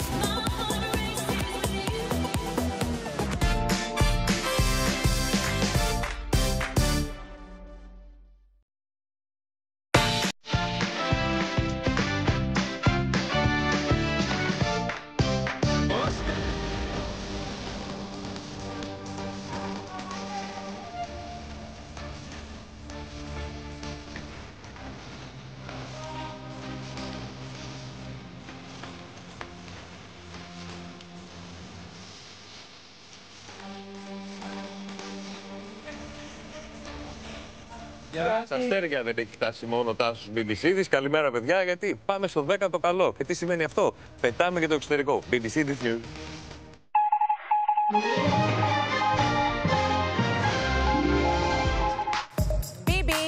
Θα μπίμπι. φτάσουμε, παιδιά, και στα αστέρια, μαλάχη. Αν έχει θέμα, και εκεί θα πάμε. να πάμε, να πάμε. Λοιπόν, είστε έτοιμοι να κάνουμε ένα γύρο σε όλο τον κόσμο, να δούμε Βεβαίως. τι συμβαίνει εκεί πέρα με όλους αυτούς τους αγαπημένους stars που μας απασχολούν. Και θα ξεκινήσω με την αγαπημένη σας, τη λατρεμένη σας, αυτήν που ορκίζεστε πάνω στα CD της, τη J-Lo. Ε, ναι. Ε, ναι, λοιπόν. Τι και; Λοιπόν, η Jennifer Lopez λοιπόν κυκλοφορεί το Half Time. Τι είναι αυτό; Είναι ένα νέο ντοκιμαντέρ για τη ζωή της που θα κάνει πρεμιέρα σε φεστιβάλ ντοκιμαντέρ στη Νέα Υόρκη στις 8 Ιουνίου και σε ε, πολύ λίγες εβδομάδες θα ανέβει σε πασίγνωστη πλατφόρμα που όλοι έχουμε μια συνδρομή εκεί πέρα. Ε, ναι. Εκεί λοιπόν θα μπορείτε να δείτε τι συμβαίνει στα παρασκήνια. Πίσω από το show τη βλέπουμε ήδη εικόνες από το teaser που έχει κυκλοφορήσει. Θα δούμε τις πρόβες που έκανε για το Super Bowl όπου εμφανίστηκε μαζί με τη Σακύρα το 2020. Θα δούμε τη σχέση που ανέπτυξαν μεταξύ τους. Θα δούμε πώς ξυπνάει το πρωί, πώς ετοιμάζεται για όλο αυτό που κάνει, τι γυμναστικές κάνει, τι τρόπο ζωής ακολουθεί. Αλλά κυρίως θα δούμε για πρώτη φορά τα πάντα σε ό,τι αφορά τη σχέση τη με τον Ben Affleck. Ωραία. Θα σας θυμίσω ότι το ζευγάρι είναι και πάλι μαζί μετά από αρκετά χρόνια.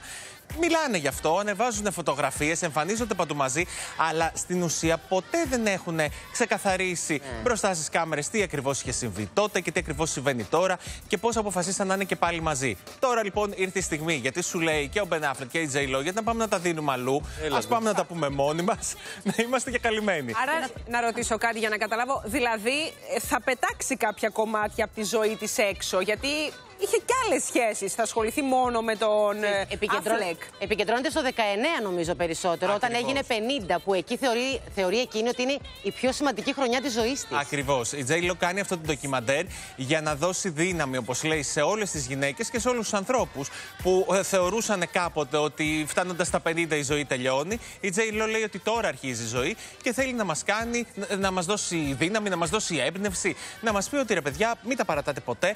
Πάντα υπάρχει ένα καλύτερο αύριο για όλους και εγώ λέει το διεκδίκησα. Μα κοίτα πλάνα τώρα, κοίτα πλάνα, μα είναι δυνατό. Είναι εξωπραγματική η γυναίκα τώρα, εντάξει. Και το ωραίο είναι ότι θα δούμε πώς έγιναν αυτά τα πλάνα που είδαμε εμείς το αποτέλεσμα. Ναι. Πώς δημιουργήθηκε όλο αυτό, τι πρόβα έχει κάνει, πόσο κόπο έχει κάνει, πόσο γυμναστική έχει ρίξει. Αυτό τώρα που έδει- έδειξε τώρα με το Versace το πράσινο, που Ναι. ήταν το 2000, ε, το 19 το ξαναφόρεσε σε μια έτσι άλλη εκδοχή. Ναι, ναι. Εντάξει, άστο, είναι, είναι φοβερή, είναι φοβερή. Είναι ωραίο το halftime, ενυπομονούμε όλοι να το δούμε και νομίζω ότι έχουμε να μάθουμε πολλά για την ζωή και την πραγματικότητα μιας Όντως, πολύ μεγάλη στάρ. Να σας πάω τώρα στη Θεσσαλονίκη. Έτσι, Ε. θα κάνω την ανατροπή. Πάμε τρίγωνο. Καλημέρα στη Θεσσαλονίκη. Όσοι μας βλέπετε εκεί, αν μπορεί να βγείτε, ας πούμε, τις επόμενες μέρες στο δρόμο και πείτε: Δείτε αυτό τον κυριούλη, μοιάζει με τον Ρόμπερτ Ντενίρο. Είναι. Δεν μοιάζει, αυτό θα είναι. ναι, ναι, ναι. Πάει Θεσσαλονίκη. Πάει Θεσσαλονίκη και μάλιστα θα είναι εκεί για δύο μήνες. Οπότε δηλαδή σε κάποια φάση, νομίζω με τους Θεσσαλονικιούς θα τρώνε κάθε πρωί μπουγάτσα παρέα. Δεν είναι δηλαδή, θα γίνουν κολλητάρια. Ο Ρόμπερτ Ντενίρο λοιπόν θα βρίσκεται στη Θεσσαλονίκη από την επόμενη εβδομάδα και θα παραμείνει εκεί, όπως σας είπα, για δύο μήνες και θα έχει πάρα πολλά γυρίσματα. Εκεί λοιπόν θα γυριστεί η νέα ταινία περιπέτεια στην οποία πρωταγωνιστεί. Η εταιρεία παραγωγής έχει νοικιάσει ένα τεράστιο χώρο στη Χάνθο που θα μεταμορφωθεί σε ε, κινηματογραφικό πλατό, χολιγουτιανών φυσικά διαστάσεων, Ε, ναι. γιατί όπως καταλαβαίνετε μιλάμε για μια πολύ μεγάλη παραγωγή. Και μάλιστα δεν θα περιοριστούν μόνο στη Θεσσαλονίκη, θα πάνε μέχρι τη δράμα. Αφού έχουν Ωραία. βρει εκεί χώρους που τους εξυπηρετούν στο σενάριο, θα γίνουν μάλιστα και κάποιες ελεγχόμενες εκρήξεις, γιατί όπως σας είπα πρόκειται για περιπέτεια. Οπότε οι παραγωγοί που βρίσκονται μήνες ήδη στη Βόρεια Ελλάδα έχουν βρει όλα τα location, όλα τα spot που θέλουν να κάνουν γυρίσματα και εκεί θα ανέβει όλο το συνεργείο μαζί με τον μεγάλο ηθοποιό. Εντάξει, το να έχει τον Τενήρο τώρα στη Θεσσαλονίκη για γυρίσματα και στη δράμα δεν το λες και λίγο. Δεν Παιδιά, το είναι λες πολύ λίγο. σπουδαίο για τη χώρα μας αυτό. Και βέβαια. επιτέλους να γίνονται κινήσεις για να γυρίζονται ταινίες εδώ και να φεύγουν αυτά τα γραφο- γραφειοκρατικά από τη μέση. Ναι, κάπου είχα διαβάσει οι Καρδάσινε όταν είχα έρ- έρθει, λέει, είχαν ε, βοηθήσει τον τουρισμό. Δηλαδή ο Ντενίρο θα τον απογειώσει τον τουρισμό. Παιδιά, θα πάνε τα εισιτήρια τα αεροπορικά για να έρθει στην Ελλάδα. Στο Θεό. Ειδικά στη δράμα. Να σας πω βέβαια ότι δεν ξέρουμε αν η συγκεκριμένη ταινία θα λέει ότι γυρίστηκε στη χώρα μας. Θα το λέμε εμείς. Δεν είναι ότι, ε, ε, ότι το σενάριο στηρίζεται σε μια, κάποια ελληνική πραγματικότητα. Απλά έχουν ανοίξει όντως πάρα πολύ τα πράγματα και πολλές μεγάλες εταιρείες παραγωγής έχουν πια τη δυνατότητα πολύ πιο εύκολα να κάνουν γυρίσματα στη χώρα μας. Να σας πάω τώρα στη Ζιζέλ. Ναι, με. Ναι. Που λίγο παθαίνει και αυτή η Τζέιλο. Τι έπαθε; Τι έπαθε; Έχει κάνει αυτό το συγκλονιστικό εξώφυλλο. Wow, που εντάξει. βλέπετε βέβαια στα 41 της παραμένει super top model. Ένα είδωλο νομίζω που έχει ξεχωρίσει μέσα στα προηγούμενα 20 χρόνια στο κομμάτι της μόδας. Ε, Τζο το παπούτσι σου, όπως βλέπεις, στο έχει κλέψει από το τη γράφει. καμαρίνι. Σαν τη γράφει. να σας Τι έμεινε να κλέβει από το καμαρίνι πράγματα; δεν έχουμε που δεν έχουμε καμαρίνι. Λοιπόν, η Ζιζέλ είπε σε αυτή τη συνέντευξη που έδωσε στη Vogue ότι τώρα στα 41 μου νιώθω ότι ε, από εδώ και στο εξής ξεκινάει η καριέρα μου. Ότι στα 20 μου μπορεί να φαινόταν ότι τα είχα όλα, ότι είχα συνεργασία με τεράστιους οίκους, έκανα όλα αυτά τα εξώφυλλα και έβγαζα πραγματικά εκατομμύρια. Φαινόταν ότι τότε ήμουν στο peak μου. Αλλά λέει τότε εγώ ένιωθα ότι είμαι στον πάτο. Αλήθεια. Ίδια Πώς γίνεται; μίλησε για μια πολύ δύσκολη περίοδο που πέρασε στη ζωή της, εκεί γύρω στα 20 με 25. Λέει ότι πάθαινε καθημερινά κρίσεις πανικού, ότι είχε κρίσεις άγχους, ότι αναγκαζόταν να καταναλώνει μεγάλες ποσότητες αλκοόλ κάθε βράδυ για να μπορέσει να αποσυμπιεστεί Ναι. και να ηρεμήσει από όλο αυτό που ξαφνικά τη συνέβαινε. Ένα κορίτσι τώρα από τη Βραζιλία να γίνεται νούμερο ένα σε όλο τον πλανήτη. Όπως καταλαβαίνετε, το βάρος όμως της ήταν τεράστιο και οι απαιτήσεις που φαντάζομαι ότι θα είχαν όλοι οι συνεργάτες από αυτήν. Τώρα λοιπόν λέει ότι στα 41 μου, παρόλο που πολλοί λέγανε ότι μετά τα 40 η ζωή αλλάζει και περνά σε μια άλλη φάση, λέει όχι. Για μένα μετά τα 40 η ζωή αρχίζει και θέλω να στείλω αυτό το μήνυμα σε όλες τις γυναίκες του κόσμου που με βλέπουν και με παρακολουθούν. Και, και- και έχει άλλη οπτική τώρα και άλλη εμπειρία. Έχω διαβάσει το βιβλίο της, στο οποίο τα εξηγεί όλα αυτά μέσα. Μέσα σε μία νύχτα τα σταμάτησε όλα. Έκοψε όλες τις κακές συνήθειες, ό,τι την πήγαινε πίσω, σε μία νύχτα. Και αποφάσισε να πάει κοντά στη φύση. Την βοήθησε πάρα πολύ βέβαια και ο Tom Brady σε αυτό. Ε, και είπε: Τέλος, τα, τα σταματάω όλα. Θα γίνω ένας άλλος άνθρωπος. Ναι, πόσο εντυπωσιακό εντωμεταξύ, ενώ εμείς να τη θεωρούσαμε και τη θεωρούμε ακόμα top model, ότι τα έχει όλα και δεν λείπει τίποτα από τη ζωή της και πώς το βίωνε την ίδια χρονική στιγμή που εμείς είχαμε άλλη εντύπωση, πώς το βίωνε εκείνη. Έχει εξηγήσει βέβαια ότι ήταν και πολύ απότομη η αναγνωρισιμότητα. Ότι Ήταν όπως τεράστιο όλο αυτό. Ήτανε, έγινε ένα μπαμ τεράστιο σε παγκόσμιο επίπεδο που δεν μπορούσε να το διαχειριστεί. Άλλη εξωπραγματική εικόνα τώρα, έτσι, Ζιζέ. Πραγματικά. Λοιπόν, τώρα πάμε για shopping στη Νέα Υόρκη. Αχ, ναι, πήγαινε μα μετά αυτό. Με- πα- Δεν ξέρω τώρα ποιον θα συναντήσουμε. Μήπως πέσουμε πάνω στην Μπέλα Χαντίντ. Έχει κάτι να μας προτείνει να ψωνίσουμε για δωράκια. Γιατί λέει βγήκε να κάνει κάποια δώρα στους αγαπημένους της και πού την αποθανατήσανε, πιστεύετε, οι παπαράτσι. Πού; Έξω από το κατάστημα της Gwyneth Paltrow. Α. Θυμόμαστε τι έχει το κατάστημα της Gwyneth Paltrow. Ναι, μην τα θυμάμαι. Είναι αυτά τα κεριά που έτσι έχουν έχουν ε, ε, το, το άρωμα του κορμιού. Κανέλας, ναι, κανέλας, κανέλας. Ναι, μελομακάρονα. της, ε, Γκουίνεθ. Και είναι πο- πάρα πολύ αγαπημένα κεριά της Μπέλα αυτά. Λέει ότι δεν μπορώ αν δεν έχω αυτό το κερί στο σπίτι. Να τα. Οπότε βρέθηκε στο κατάστημα και πήρε δώρο και για τους αγαπημένους της το ε, κερί αυτό το, με το ιδιαίτερο άρωμα. Μήπως είναι φίλες πολύ γιατί δεν πάνε και καλά οι δουλειές της που είναι στη Μοσχή πει ότι μάλλον Λέει θα να πάνε κλείσουν τα να στηρίξει μαγαζιά. το φίλο, έχεις Και δίκιο. πάμε να πάρουμε τώρα ότι στο κάρισμα υπάρχει. Δεν την καλέσει στο σπίτι σου, γιατί άμα σου φέρει αυτά τα κεριά, εγώ συγγνώμη, δεν θα ήθελα να μυρίσει το σπίτι Αλλά μου. τώρα κανέλα σου τέτοιο. λέω. Μυρίζουν, το έχουν πει ότι μυρίζουν κανέλα. Ναι, μπαίνεις να μην μέσα αυτή η ορκίζεσαι. ώρα που μυρίζει, μη σου πω τι. Φτιάχνω παστίτσιο. Μην τρελαίνεσαι. Τσουτζουκάκια.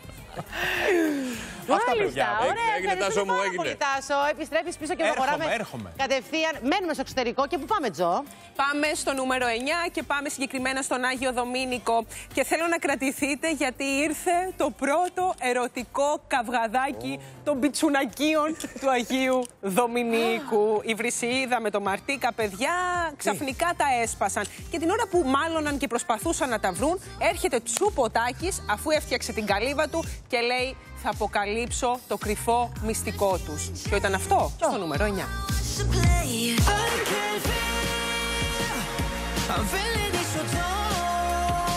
Υπάρχει κάποιος που να μην τσακώθηκε με κάποιον άλλο στο χθεσινό επεισόδιο του Survivor; Να σας πω εγώ όχι.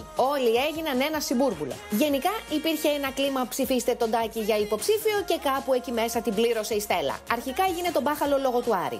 Δεν είπα ότι ο Άρης σχεδιάσει κάτι. Αν είναι δυνατόν να λέμε την αλήθεια. Δεν Αυτή. έχετε μιλάει. Στοπ.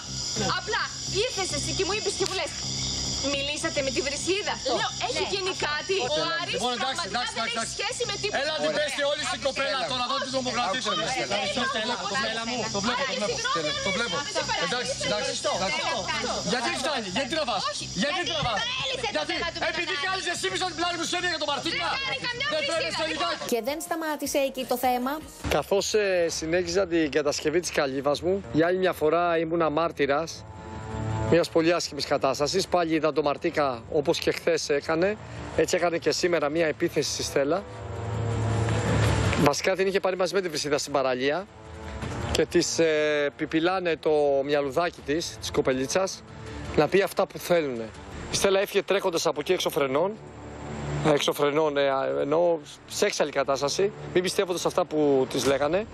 Και άκουσα να λέει: Δεν θα μου πεις εσύ τι θα λέω. Το είδα αυτό ο Σπύρος, μετά με ήρθε και με έπιασε και μου άρχισε να μου λέει γιατί μιλάς με τον Τάκη, είπαμε να μην μιλάμε, να μην του δώσουμε βήμα ε, και γιατί το κάνεις αυτό και άρχισε τους χαρακτηρισμούς. Εφόσον κάποιος α- άνθρωπος αρχίζει τους χαρακτηρισμούς και δεν θέλει απλά να κάνουμε διάλογο και να μιλήσουμε όμορφα και πολιτισμένα, ε, άρχισα να, να κλαίω, πήγα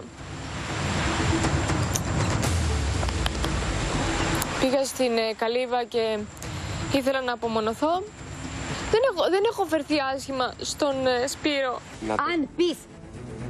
Δεν θα σου ξαναμιλήσω ούτε εγώ. Ξεκαθαρίσουμε λίγο. Εντάξει, είχαμε το πρώτο μας ερωτικό καυγαδάκι. Έδικα καυγαδάκι με τον Σπύρο. Ε, και μετά ζήτησε συγγνώμη γιατί στεναχωρήθηκε που με στεναχώρησε και που στεναχώρησε και τη Στέλλα που είναι φίλη μου. Κάθε φορά που, κάνει έχω τη κάτι. δικιά μου άποψη, κάθε φορά θα πρέπει η δικιά μου άποψη να συμπίπτει με την άποψη της ομάδας. Αν δεν συμπίπτει, Λοιπόν, εκεί έρχεται εγώ πόλεμος. ήρθα εδώ- Δεν ξέρω αν την εννοεί ο, τη συγγνώμη ο Σπύρος ή είπε συγγνώμη επειδή η βρυσίδα του το ζήτησε. Στο μεταξύ, αρπάχτηκαν και ο Άρης με τη Βρυσίδα. Αν έχεις νεύρα, πάρε φορά και χτύπατε και βάλει στον τοίχο, δεν σου στέλνω εμείς. Χάνεις, σου δίνω το χέρι μου και δεν μου δίνεις το χέρι σου. Δεν με νοιάζει τι κάνει ξανά. Πάμε να παίξεις τελικό πόντο. Πάμε να παίξεις τελικό πόντο για σένα. Άρε παράτα μας. Κακομαθημένο. Άντε ρε. Εγώ ήρθα για όλα. Άντε παράτα μας από εκεί χάμω. Άντε ρε. Πολύ Κακίστρο. Πολύ κακό. Ε, κακίστρο. Υποψήφιοι προς αποχώρηση, Μαρτίκας, Τάκης και Στάθης. Εντάξει, ντερμπάρα. Δεν φωνάζουμε. Δεν φωνάζω. Δεν φωνάζω. Ησυχία, ησυχία. Παιδιά, γιατί αυτή η φωνή δεν υπάρχει περίπτωση να μην την ακούσει όλος ο Άγιος Δομήνικος. Αλλά το ζευγάρι τι έπαθε, ρε παιδιά; Γιατί τσακώθηκαν; Εντάξει, πάντα υπάρχουν και τα καυγαδάκια. Δεν είναι όλα α, ρόδινα. Α ξεκινήσουν και αυτά μες στον Άγιο Δομήνικο. Ε, είναι αυτό το λατοπίπερο στη σχέση, ρε παιδί μου. Άμα δεν τσακωθείς λίγο, δεν θα ανάψουν και τα αίματα. Επειδή είναι όλη μέρα μαζί 24 ώρες το 24ωρο. Όχι, όχι. Και δεν είναι μακριά. Μήπως λύσει τον τάκι. Όχι, ήταν, δεν ψήθηκε καλά η καρίδα και μάλλον ε, την έκανε λίγο ανάλατη. Και λέει ρε παιδί μου, είναι δυνατόν. Κάθε μέρα καρίδα τρώμε. Πέτυχε την μια Μετά φορά. είδες όμως που το χάρηκε. Γιατί μετά ήταν χαρούμενη. Έλεγε Κάνω ένα καυγαδάκι. και ήταν ωραία». Ναι, ναι, Δηλαδή τέλειο. το χάρηκε, κάπως το Εντάξει, μετά ζήσε. τον καυγά πάντα είσαι πιο χαρούμενος. Αν ναι, γιατί λες με θέλει, ε. Ε, ναι, λες, εντάξει, κοίτα. Το περάσαμε και αυτό το Ανεβάζει εμπόδιο. τα αίματα, λέει, και ερχόμαστε ακόμα πιο κοντά. Βεβαίως, με κάποιο τρόπο. Δυναμώνει η σχέση. να είναι καλά τα παιδιά, να χαίρονται τις καρίδε, ανάλατες ή ανατισμένε, δεν έχει σημασία. να περνάτε ωραία. Προχωράμε σε έναν κύριο πάρα πολύ ωραίο. Φυσικά και πάμε στο νούμερο 8. Είναι από τους νούμερο 1 καλλιτέχνες λαϊκούς τραγουδιστές που όπου και να εμφανιστεί και συγκε- συγκεκριμένα στο Ποσειδόνιο, το νυχτερινό μαγαζί είναι πάντα γεμάτο. Φυσικά μιλάμε για τον Πάνο Κιάμο που ξεκινάει αύριο Παρασκευή με τον Τόνις Φίνας στο Ποσειδόνιο. Το συνάντησε η Βασιλική Βασιούρη και μας μίλησε για όλα. Για τα παιδικά χρόνια που κουβαλούσε τα αυτόγραφα του Θέμη Αδαμαντίδη και του Λευτέρη Πανταζή, μέχρι τις τηλεοπτικές προτάσεις και φυσικά το μάνατζερ μπαμπά του. Αμέσως τώρα. Φωτιά με φωτιά, φωτιά με φωτιά. Πώς προέκυψε το σχήμα με τον Τόνι Σφίνο. Η όλη συνεργασία με τον Τόνι έγινε κυρίως από τους καφέδες που ήπιαμε. Δηλαδή με τον Τόνι, πρώτα ήρθαμε κοντά ως άνθρωποι, είδαμε ότι υπάρχει χημεία και αυτό ήταν που μας οδήγησε να κάνουμε τη συνεργασία. Και δεν έγινε μια συνεργασία που είπαμε ε, τι θα κάνουμε τώρα για να προκαλέσουμε, τι να κάνουμε για να συζητούμε, τι θα κάνουμε. Όχι. Θέλω να πάμε λίγο πίσω. Ωραία. Και να μου εξιστορήσεις την ιστορία ό- όταν ήσουν με τον μπαμπά σου και πήγαινες στα νυχτερινά μαγαζιά και ασχολιώσουν με τις αφήσεις και τα αυτόγραφα. Ε, βέβαια, κοίταξε, εγώ όταν ήμουν μικρός ήθελα με κάποιο τρόπο να έχω επαφή, επειδή μου άρεσε πάρα πολύ ε, η, η μουσική και ο πατέρας μου δούλευε, ήταν εργάτης σε ένα εργοστάσιο που τύπωνε τότε τις αφήσει των καλλιτεχνών και τα αυτόγραφα και έτσι είχε επαφή με τους καλλιτέχνες. Εγώ επειδή ήθελα να έχω επαφή, ε, ήθελα με κάποιο τρόπο να πηγαίνω με τον πατέρα μου. Και του λέω: Μπαμπά, θα έρχω και θα κουβαλώ τις αφήσει ή τα αυτόγραφα. Με αυτή την αφορμή μέσα σε εισαγωγικά, ε, έμπαινα κάθε Σάββατο που την Κυριακή δεν είχαμε σχολείο, γιατί πήγαινα σχολείο τότε εγώ. Ε, πήγαινα μαζί με τον πατέρα μου το βράδυ και μπορούσα να ξενυχτήσω. Κουβαλούσα τα αυτόγραφα για διάφορους καλλιτέχνες το 85, τότε που ήμουν 10, 11, 12 χρονών. Και θυμάμαι, έχω κουβαλήσει πολλά, αφήσεις- πολλά αυτόγραφα για το Θέμη Αδαμαντίδη, για τον Οικονομικό, τότε που ήταν στα φόρτε τους, για το Λευτέρη Πανταζή. Στο πίσω μέρος του μυαλού σου υπήρχε αυτή η εξέλιξη που έχουμε σήμερα; Όχι, όχι. Κοίταξε ότι ήθελα να ασχοληθώ. Ναι, αλλά τότε με γέμιζε τόσο πολύ το γεγονός ότι μπορούσα να δω αυτούς τους καλλιτέχνες από κοντά και μ' άρεσε τόσο πολύ όλο το θέμα. Θεωρώ τον εαυτό μου πάρα πολύ τυχερό, γιατί αν θέλεις, ε, αυτό που αγαπάω μου έδωσε τη δυνατότητα ο Θεός και το θεωρώ πάρα πολύ τυχερό να το κάνω και βιοποριστικό επάγγελμα. Γνωρίζω ότι όλα αυτά τα χρόνια που είσαι στο χώρο, δίπλος ο μπαμπάς πάντα. Πάντα, ναι. Η αλήθεια είναι αυτή. Ο πατέρας μου σχέση είναι μεταξύ. και σύμβουλος ε, και μάνατζερ και φίλος. Ε, και γενικότερα, ξέρεις τι, νιώθω, ότι- ε, νιώθω τη σιγουριά ότι και μία λάθος απόφαση να πάρουμε. Γιατί ε, έχουμε κάνει λοιπόν πολλές φορές και λάθη, αλλά όταν είσαι με τον πατέρα σου, υπάρχει ένα σίγουρο πράγμα. Δεν υπάρχει ποτέ δόλος και το λάθος δεν γίνεται επίτηδες. Ενώ με έναν ξένο άνθρωπο που θα βαφτιστεί, γιατί νομίζω ότι στην, ε, στη χώρα μας λέει, δεν υπάρχουν ή αν υπάρχουν είναι ελάχιστοι οι πραγματικοί managers, ε, νομίζω ότι υπάρχει πολλές φορές η πιθανότητα να γίνει ένα λάθος και εσκεμμένα. Να επικρατήσει ο δόλος περισσότερο. Δεν μου το βγάζεις από το μυαλό. Αν μετά από χρόνια έρθει κάποιο από τα παιδιά σου και σου πει ότι θέλω να ακολουθήσω κι εγώ αυτό το χώρο. Εγώ αυτό που έχω ως μέλημα και ως, ε, ως στόχο είναι να τους δώσω ηθικές αξίες, να τα μεγαλώσω όσο μπορώ καλύτερα με την έννοια να τα κάνω καλούς ανθρώπους ε, και από εκεί και πέρα ε, όλα τα άλλα ε, πιστεύω ότι θα έρθουν και θα αποφασίσουν ό,τι θέλουν. Εγώ θα είμαι δίπλα τους ε, όπως πιστεύω ότι πρέπει να κάνει κάθε γονιός. Έχεις απορρίψει κάποιο τραγούδι που να έχει γίνει επιτυχία από άλλο καλλιτέχνη; Βεβαίως. Μου έχει συμβεί ε, αρκετές φορές, μπορώ να πω, όχι πάρα πολλές, αλλά μου έχει συμβεί τρει-τέσσερι φορές ε, να έχω απορρίψει ένα τραγούδι και μετά να το έχει πάρει ένας συνάδελφος και να τραγουδάει όλη η Ελλάδα. Και επίσης και τραγούδια τα οποία έχω πει εγώ, είμαι σίγουρος ότι κάποια στιγμή τα ακούσανε κάποιοι άλλοι καλλιτέχνες. Υπάρχει ένα τραγούδι, ας πούμε, που μου λέει, το έδειξα, μου το είπε με παράπονο, αν θέλεις, ο δημιουργός, ότι το έδειξα εδώ, το έδειξα εδώ, το έδειξα. Δεν το ήθελε κανένας, τελικά το πήρε και έγινε τεράστια επιτυχία. Αυτό δεν είναι κακό όμως. Θα πουσιάσω ζω Και έχουμε και επανεκτέλεση παλιού τραγουδιού που Το θα με ζητάς, το γνωστό σε όλους το απουσιάζω. Είναι ένα τραγούδι το οποίο κυκλοφόρησε το 2000. Είμαι πολύ χαρούμενος και σίγουρα μαζί με το ένα τραγουδό που σ' αγαπάω θα λέμε και θα απουσιάζω. Δεν θα απουσιάζει κανένας από το Ποσειδόνιο. θέλω να μου πεις γιατί δεν σε βλέπουμε κάπου τηλεοπτικά; Κοίταξε, εγώ νομίζω ότι δεν είμαι ο άνθρωπος που δεν εμφανίζομαι τηλεοπτικά. Δεν είμαι ο άνθρωπος που θέλω να προκαλέσω. Ε, θα βγω όπως τώρα είμαι ε, στην κάμερα γιατί έχω να πω κάτι. Σε κάποιο μουσικό project θα μπορούσαμε να σε δούμε εύκολα. Αν, αν εννοείς να είμαι κάπου κριτική επιτροπή, όχι, δεν θα ήθελα να το κάνω κάτι τέτοιο. Δεν ξέρω αν μου βγει στο μέλλον κάτι τέτοιο. Έχει γίνει η πρόταση, δεν έχω δεχτεί, γιατί αυτή τη στιγμή δεν θέλω να συμμετέχω σε κάτι τέτοιο. Παρουσίαση και μιας μουσικής εκπομπής αντίστοιχα. Α, στην παρουσίαση εννοείς να γίνω παρουσιαστής. Δεν νομίζω ότι θα το είχα. Θα με Εγώ νομίζω θα του πήγαινε εκεί η παρουσίαση και η κριτική επιτροπή του Πάνου Κιάμου. Καλημέρα πάνω μου.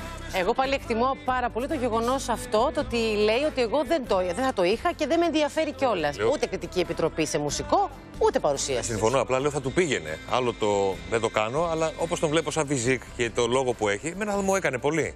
Ε, μιλάμε για έναν πολύ στοχοπροσιλωμένο καλλιτέχνη. Πολύ. Και δεν έχει αρνηθεί και ποτέ το είδος το οποίο υπηρετεί από την πρώτη μέρα. Δεν χρειάστηκε να κάνει κάτι άλλο για να αποδείξει σε κάποιον κάτι. Αυτό που κάνει το κάνει τέλεια τόσα χρόνια. Και έχει το πιο, συγγνώμη να μου, το πιο σωστό μάνατζερ, ο οποίος το καθοδηγεί. Χωρίς να υπάρχει δεύτερη, τρίτη, τέταρτη σκέψη από Φυσικά. πίσω. Απλά να πούμε στο μάνατζερ να τον αφήνει λίγο να μας δίνει συνεντεύξεις γιατί απολαμβάνουμε κάθε φορά που μιλάει. Βέβαια, οφείλεται και της Βασιλική Μπασιούρη, έτσι. Να τα λέμε και αυτά. Νομίζω Ήταν ότι και ο ίδιος δεν απολαυστικός. θέλει. Νομίζω και ο ίδιος. Αν κάποια στιγμή δεν αισθάνεσαι πολύ καλά και κάτι σε έχει φάει και θέλεις να πας να ξεδώσεις, η καλύτερη επιλογή είναι ο Πάνος Κιάμος. Δηλαδή το, το εγγυώμαι αυτό. Λοιπόν, προχωράμε να μπούμε στον κόσμο των social media, να πάμε κατευθείαν στην Τζόρτζια Γεωργίου. Κάνε μου λιγάκι scroll.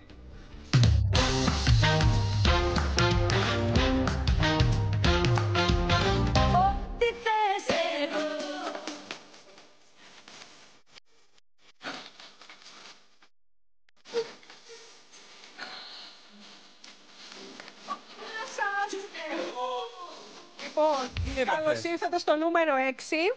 Καλώς ήρθαμε, καλώς σας βρήκαμε. Ακούσατε την Άννα Βύση; Ναι. ναι. Υπάρχει Ελληνίδα, παραθέτω βιογραφικό, πρώην παίχτρια My Style Rocks, ε, wannabe παρουσιάστρια και μια μικρή ενασχόληση έτσι με το τραγούδι, η οποία θέλει να βγάλει δίσκο. Ωραία. Ε, δείτε λίγο τα πλάνα και θα σας εξηγήσω τι γίνεται με την Αλεξάνδρα Παναγιώταρου. Λοιπόν, το είδα αυτό χθες στο Instagram της κάνοντας scroll Ναι. και λέω όπα, όπα, όπα παιδιά, stop the press, σταματήστε ό,τι κάνετε. Η Αλεξάνδρα Παναγιώταρου coming soon, soon, guys, βγάζει καινούριο τραγούδι. Και λέω, θυμήθηκα μετά τους στίχους από το προηγούμενο που έλεγε «Τα κορμιά μας ένα και δεν κλείνουμε μάτι και εγώ σε θέλω, μη πάπη, σε Πάπη. θέλω, μη πάπη». Μη πάπη. Ωραία, τώρα- μπράβο, Στο jazz πάντως, στο jazz ήταν πάρα πολύ καλή η Αλεξάνδρα. Πάρα πολύ καλή. Κέρδισε κιόλας. το ναι, θέμα ναι. είναι ότι χθες λέω χάλασε το κινητό μου γιατί δεν έβγαζε ήχο. Αλλά μετά λέω είσαι σωστή βρεση Αλεξάνδρα. γιατί Βέβαια. παιδιά δεν θέλει να κάψει το στίχο και τη τον πάρουν άλλες και το προλάβουνε. Φυσικά. Και δεν θέλει να σε εντυπωσιάσει και με τις φωνητικέ της ικανότητες. Λέει να περιμένεις. Είναι marketing, παιδιά, αυτό. Σου σκάει ξαφνικά και σου έρχεται από εκεί που δεν το περιμένεις. Μη πάπη, μη πάπη. Πάπη, πάπη. Μέχρι να βγει το καινούριο τραγούδι της Αλεξάνδρας Παναγιώταρου, γιατί εγώ θα είμαι συντονισμένη, σας πάω στο επόμενο. Ε, Είναι τώρα, ας πούμε, το Γιώργο Αγγελόπουλο, τον Τάνο μας, τον βλέπουμε πάρα πάρα πολύ σπάνια στα social media. Αλλά όταν τον βλέπουμε, κάνει πράγματα τα οποία, ρε παιδί μου, λίγο σου θυμίζουν κάτι από τα παλιά, λίγο σε εντυπωσιάζουν. Αυτό εννοούσα. Τι έκανε; Έλα, Τα εντάξει. περιστέρια τώρα μα. Ναι, ναι. Είναι στο κέντρο της Αθήνας, Ναι. γύρω είναι γεμάτο περιστέρια και ξαφνικά περιμένω να δω τη Βίρνα Δράκου. Και εκεί μου Και εκεί μου περιμένεις να δεις τη, τη Βίρνα Δράκου πετώντας έτσι από τα περιστέρια να βγει είναι στο ξέφωτο. Βλέπεις τον Γιώργο Αγγελόπουλο. Μήπως τον κουτσούλησε Τέλεια. κάποιο περιστέρι; Κουτσούλησε τη Βίρνα Περιστέρη, Γιώργο. Όχι, τον Τάνο. Α, δεν ξέρω, δεν κουτσούλαγαν αυτά τα περιστέρια. δεν είχαν φάει νωρίτερα σπόρια. Αυτό. Έπρεπε να τα ταΐσει όπως η Βίρνα. Η Βίνα καθόταν και τα, τα, τα, τα πήγαινε και τα, τα πέταχε κιόλας. Δεν έβγαινε την κάμερα. Καλημέρα Γιώργο, σ' αγαπάμε, Βίρνα Δράκου. και πάω τώρα στο επόμενο. Γιατί δεν ξέρω αν το ξέρετε ή σας το λέω πρώτη εγώ. Η Queen Dina πήρε δύο πανέμορφα σκυλάκια. Ωραία. Α, κι άλλα. Την Queen Ναι, και, και τον την Τίνα. Λίο. Α, νόμιζα. Συγγνώμη. Και τον Λίο. Είναι αγοράκι, αλλιώς θα ήταν Τίνα. Και δείτε τι έκανε χθες πρώτη τους έξοδος από το σπίτι. Αγάπες μου. Λίο μου, πόσο καλός σκυλάκι είσαι, αρκουδάκι. Είδες πόσο καλός. Η Queen είναι έξαλλη. Και ακούει και το όνομά της. Queen. Είναι πάρα πολύ γλυκούλικα. Ναι, στην πρώτη τους έξοδο για το εμβόλιο τα πήγε να τους κάνει full ρεχτιφιέ και περιποίηση. Τους έκοψε νυχάκια. Το σημαντικό είναι ότι μπερδεύτηκε. Νομίζω ότι είναι αρχουδάκι ο Λίο. Παρ' όλα αυτά βλέπουμε ότι η Queen ανταποκρίνεται στο κάλεσμα της Queen. Ντίνα. Ναι. Για να κάνει και το πρώτο του εμβόλιο, άρα είναι πάνω από 4 μηνών. Τότε πάνε τα κουτάβια να κάνουν τα πρώτα εμβόλια. Οπότε ε, αρχίζουν να ακούν και το όνομά τους και τις εντολές. Α, γι' αυτό, γιατί λέω δεν γίνεται. Πώ ακούει το όνομα, τόση ταύτιση με τη μαμά. Οπότε, ρε παιδί μου, κατάλαβες. Queen. Queen. αυτό. Queen. Το θέμα είναι να φωνάξει κάποιος Queen και θα γυρίσει πρώτη. και οι δύο θα γυρίσουν πιστεύω. Άρα και οι δύο ταυτόχρονα. Ωραίο.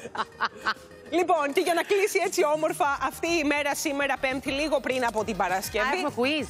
Φυσικά και έχω quiz.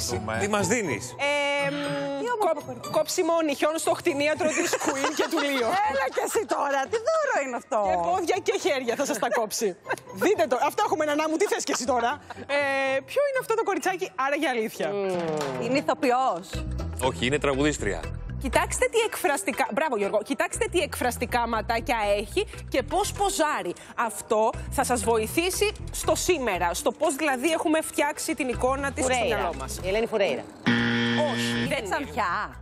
Ε, μ, κατά διαστήματα πετάει αντάβιες, highlights που την κάνουν ξανθιά. Highlights. Η Ε, βάση Φυσαρή. Δεν είναι η Εύη, ψάξε με τις... Η Ζώζεφη. Αυτή πήγα να Είναι η πω. Ζώζεφιν! Είναι η Τζόζεφιν!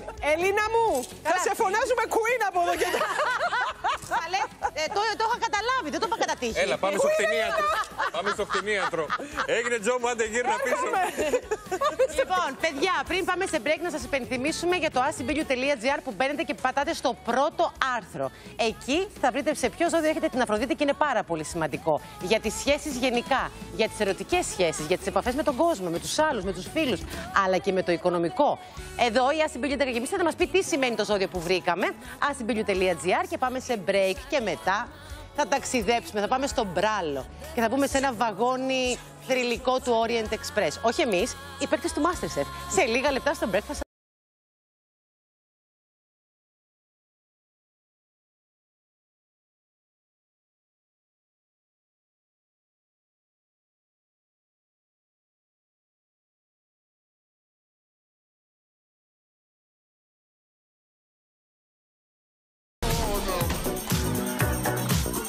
Σε λίγο σας συστήνουμε δύο ακόμα buyer του Cashor Trust, τον Γιώργο Καράμπελα και τον Φίβο Στρουγκάρη, πριν την πρεμιέρα της εκπομπής. Για μένα η αισθητική είναι ο Θεός μου, οπότε αυτόματα όλα τα πράγματα που κάνω έχουν την ομπρέλα ε, της αισθητικής. Αυτή η εκπομπή, από τα πρόσωπα που γνώρισα εγώ, αποτελείται από ε, εξαιρετικό παρασκήνιο και έξι ανθρώπους οι οποίοι δεν έχουν καμία συνάρτηση ο ένας με τον άλλον.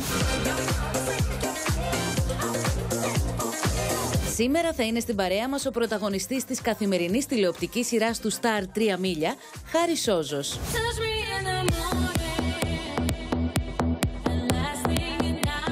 Στις 11.30 η Άση Μπίλιου αναλύει αστρολογικά σε ποιο ζώδιο έχουμε την Αφροδίτη στο οροσκόπιό μας και τι σημαίνει για τον έρωτα και το χρήμα στη ζωή μας.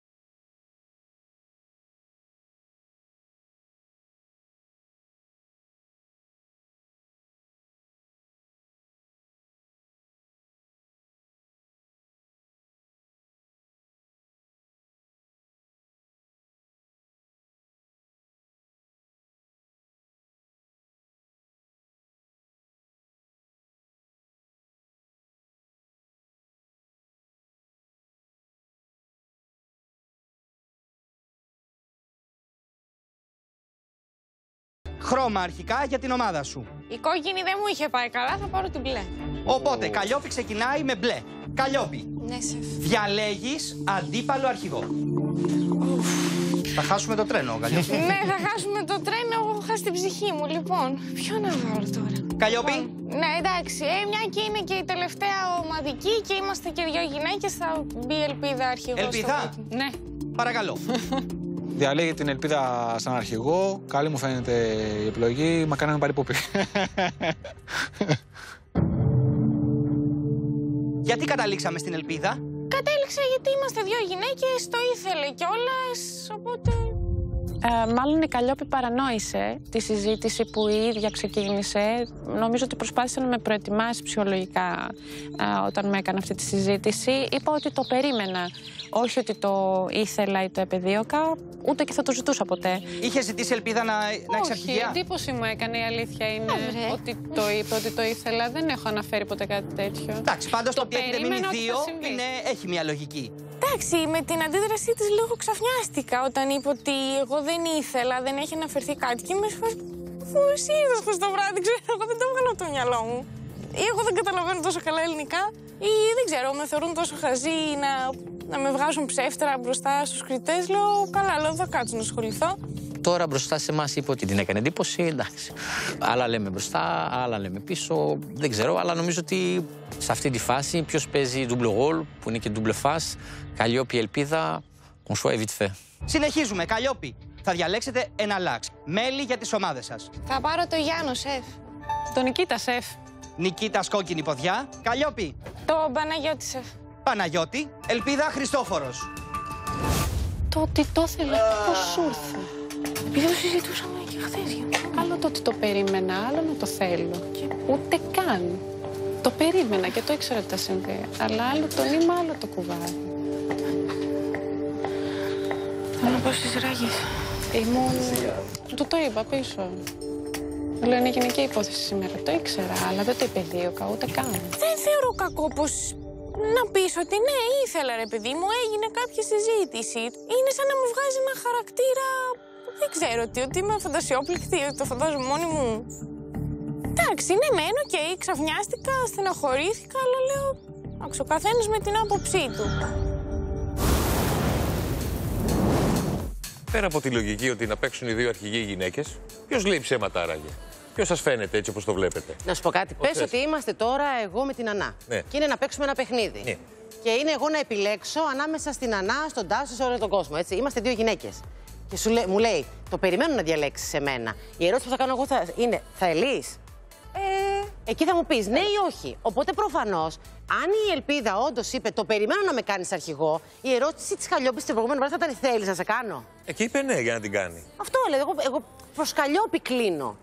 Ότι λέει ψέματα. Ότι λέει αλήθεια. Α, Από την άλλη, όμως, η Ελπίδα σε παλιότερες όμως δοκιμασίες ομαδικές είχε πει ότι ήθελε να γίνει αρχηγός. Το είχε ζητήσει και είχε γίνει. Δηλαδή, φαντάζομαι ότι αν το είχε ζητήσει όντως από την ε, Καλλιόπη, δεν θα μ, προβληματιζόταν μπροστά στην κάμερα, ούτε θα διέψευδε την Καλλιόπη. ούτε Λέει θα ρε παιδί μου, το περί... είπα ότι το περίμενα, λέει. Όχι ότι το θέλω. Όταν κάποιος λέει το συζήτηση περιμένω να πριν. με κάνεις αρχηγό, προφανώς εννοεί ότι θέλει κιόλας. Αυτό θέλω να σου πω.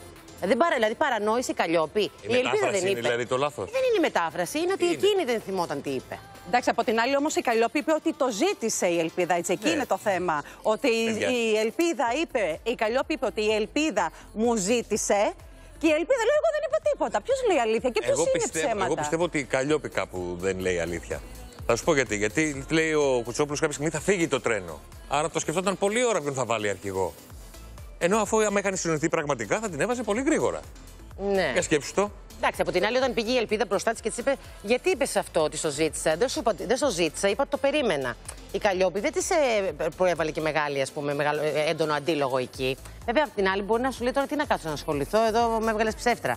Δεν ξέρω, παιδιά. Εγώ πιστεύω ότι η Καλλιόπη λέει αλήθεια. Δεν ξέρω. Να πούμε έχω όμως αυτή ότι τα δύο κορίτσια ήταν αχτύπητο δίδυμο, έτσι. Ναι, ήταν φίλες, έχουν πάρει το απόλυτο δεκάρι. Μου κάνει τρομερή εντύπωση που έφτασα σε αυτό το σημείο στην Εξάδα. Για να α, α, λέμε ποια λέει αλήθεια και ποια λέει Τώρα, ψέματα. τρομερή εντύπωση. Εγώ ε, το περίμενα με έναν τρόπο. περίμενες. Όχι για αυτά τα δύο συγκεκριμένα κορίτσια, αλλά περίμενα ότι θα συνέβαινε κάποια στιγμή αυτό. Παιδιά, είναι σχεδόν τελική πεντάδα.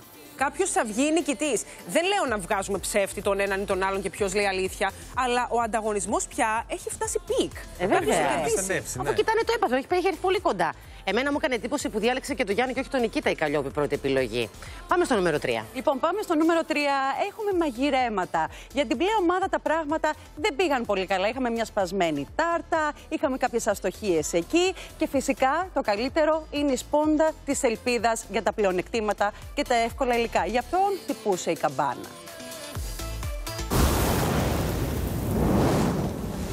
Δυόμιση ώρες μαγειρικής ξεκινάνε από τώρα. Πάμε. Καλή επιτυχία, παιδιά. Έχω ξεκινήσει με την ουρά για να τη βράσω σωστά. Δεν περίμενα να είναι ολόκληρη, αλλά δεν πειράζει. Θα, θα βγάλουμε και τα νεύρα μας. Ε, δεν έχει κοντέ το γαλλικό, αλλά έχει γραβιέρα. Μπορούμε να κάνουμε πάλι το κάσταρ με, την, με το άσπρο. Ναι, Εντάξει. ναι, ναι, πάμε. Ό,τι έχει, παιδιά, πάμε. Με έχει πιάσει συγκίνηση, τι να κάνω. Τα κρεμμύδια φταίνε. Κάτι καίγεται. Το δικό μας είναι. Νομίζω. Κοιτάω λοιπόν κάποια στιγμή την κατσαρόλα, κάτι διαλύεται, κάτι γίνεται. Κόλλησε κάτω το τέτοιο όλο. Με ξύλινο κουτάλι. Διάλυσε αυτό, ρε. Έχεις πάει στο μπουστεκάκι με το τεράστιο του κεφτέ. Διάλυσε κάτω. Εντάξει, δεν πειράζει αυτό. Θα σιγοβράσω. Συνήθω τα πλεονεκτήματα βγαίνουν σε μειονεκτήματα για τις ομάδες που έχουν πλεονεκτήματα. Ελπίζω το ίδιο να συμβεί και σήμερα. Όταν διαλέγεις αυτό που είναι εύκολο, συνήθως χαλαρώνεις κιόλας. Ενώ όταν έχεις το δύσκολο, δεν μπορείς να χαλαρώσεις. Μπορεί να μην περίμενε η Καλλιόπη τη συμπεριφορά, τέτοια συμπεριφορά της Ελπίδας, λέγοντας ότι άμα όντως είναι έτσι, βάλε με αρχηγό και μετά να λέει «Μη- δεν είναι αλήθεια. Εντός παιχνιδιού και τις προηγούμενες ομαδικές έχουν δουλέψει πάρα πολύ καλά. Έχουμε δει μια κοεζιόν πολύ καλή, ότι έχουν φτάσει να πάρουν 40 στα 40 σε, ένα, σε επιδόρπια και έχουν και αποδείξει ότι συνέχεια δουλεύανε μαζί. Ε, θέλω να κρυώσουν. Εδώ βασικά δεν είναι 100% ψημένες. Καλά κάναμε και το ξαναείδαμε. Βγάζω τις τάρτες από το φούρνο, πάω να τις, ε, να τις αλλάξω θέση για να μπορούν να κρυώσουν. Και όπως το είδαμε, έσπασε. Ε, και μου σπάει λίγο ένα κομμάτι της τάρτας. Ε, το καλό είναι ότι βα- παίρνουμε μόνο τις μισές. Ε, μπορούμε να τον μπαλώσουμε. Τρία, δύο,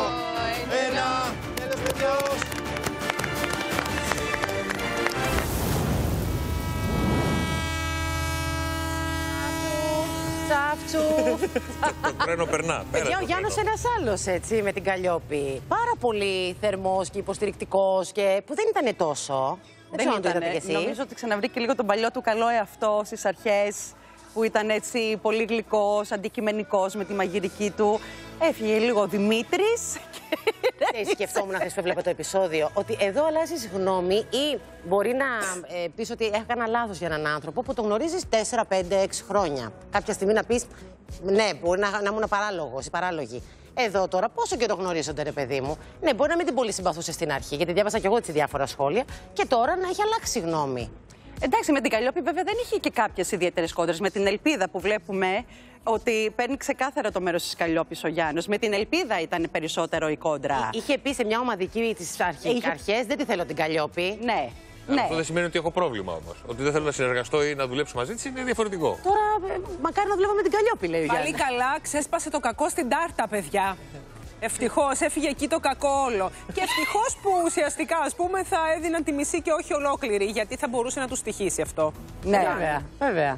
Μάλιστα, απόψε το βράδυ στις 9 το δεύτερο μέρος της σωματικής δοκιμασίας. Γιατί δεν έχουν τελειώσει ακόμη τα παιδιά, έχουν ακόμη δρόμο. Προχωράμε στο νούμερο 1. Φυσικά και θα πάμε τώρα έτσι ε, ήρεμα, ωραία και χαρούμενα στο νούμερο 1 γιατί αρχίζει σιγά σιγά να συμπληρώνεται αυτή η χρωματική παλέτα των buyers του Cash or Trash. Όπως σας είπαμε όλη τη βδομάδα θα σας συστήνουμε και από ένα. Και σήμερα έχουμε τον τέταρτο από τους έξι, τον κύριο Φίβο Στρουγκάρη, ο οποίος παιδιά ε, για αρχή έχουμε ένα, μετά θα δείτε και έναν άλλον θέλω να σας πω. Ακούστε τώρα τι γίνεται γιατί είναι πολύ ταξιδεμένος. Τρίτης γενιάς δικηγόρος και αναρωτιόμαστε όλοι πώς βρέθηκε στο Cash or Trash; Έχει απαντήσεις για όλα παιδιά γιατί η επαφή του με τα παλιά αντικείμενα έχει ξεκινήσει από πάρα πάρα πάρα πολύ νωρίς και μας λέει και ο ίδιος όπως και οι προ- προηγούμενοι ότι είναι πάρα πολύ ανταγωνιστικός επίσης. Στο νούμερο 1.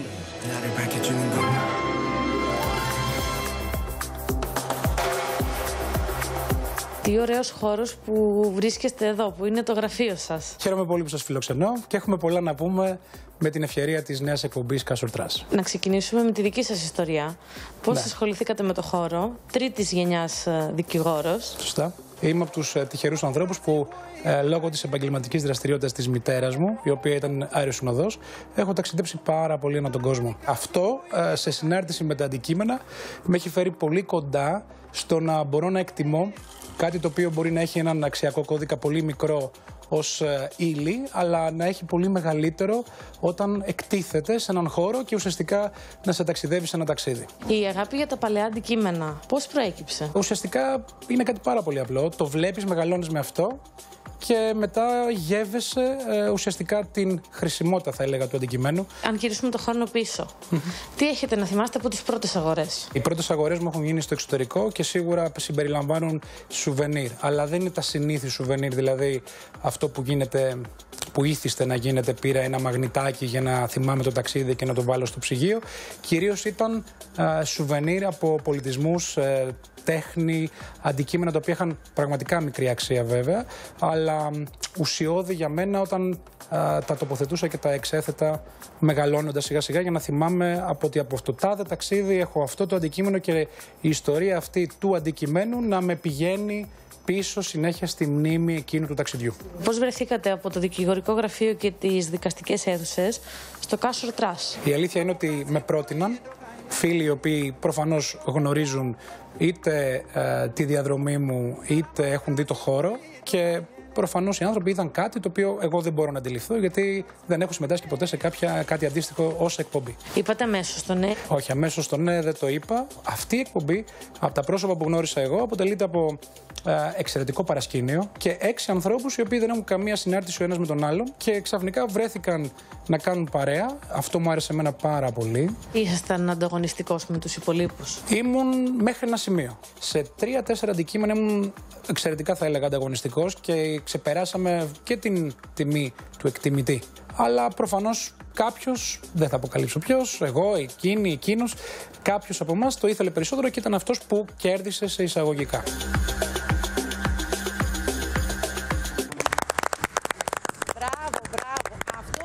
Σκεφτόμουν, παιδιά, και εγώ. Ε, τώρα που άκουσα τον κύριο Στρουγκάρη, ότι η ανταγωνιστικότητα είναι αυτή που θα ξεπεράσει την τιμή. Γιατί σου λέει, Α, εσύ έδωσες τόσο, εγώ πιο πολύ. Και μπορεί η τιμή του εκτιμητή να ήταν ε, πολύ χαμηλή. Μα εκεί είναι το μυστικό σε όλη αυτή τη διαδικασία και εκεί είναι όλο το παιχνίδι και το ενδιαφέρον. Να δεις πόσο ο ένας θα χτυπήσει μέσα εισαγωγικά τον άλλον. Και τι έχει δει ο άλλο στο αντικείμενο που δεν έχω δει εγώ για να το χτυπάει παραπάνω από ότι εγώ. Αυτό που κατάλαβα βέβαια λέγοντά τον είναι ότι αυτό ή το έχεις ή δεν το έχεις έτσι. Γιατί εντάξει, όλοι έχουμε ταξιδέψει κάπως, ρε παιδί μου, αλλά το να θέλεις να βρεις το ασυνήθιστο, το το που να τέχνη και σουβενίρ και αυτά, ή το έχεις ή δεν το έχεις. Ναι, αλλά ε, ε, ταξιδεύοντας, όπως ταξιδεύουμε όντως όλοι, ε, το μάτι δεν πήγαινε, λέει, στο να πάρει ένα απλό μαγνητάκι Ω. για να φέρει πίσω. Όπως εγώ. Έψαχνε να βρει κάτι ακόμα περισσότερο για να κουβαλήσει, ας πούμε, τον πολιτισμό κάθε χώρας στον τόπο που θα μπορούσε να υπάρξει, ας πούμε, στην Ελλάδα. Και προκειμένου. ε, αυτός σου λέει, το έχει δηλαδή. Οπότε και οι φίλοι του είναι ουσιαστικά εκείνοι που τον πρότειναν για το Κάσορ Τρά.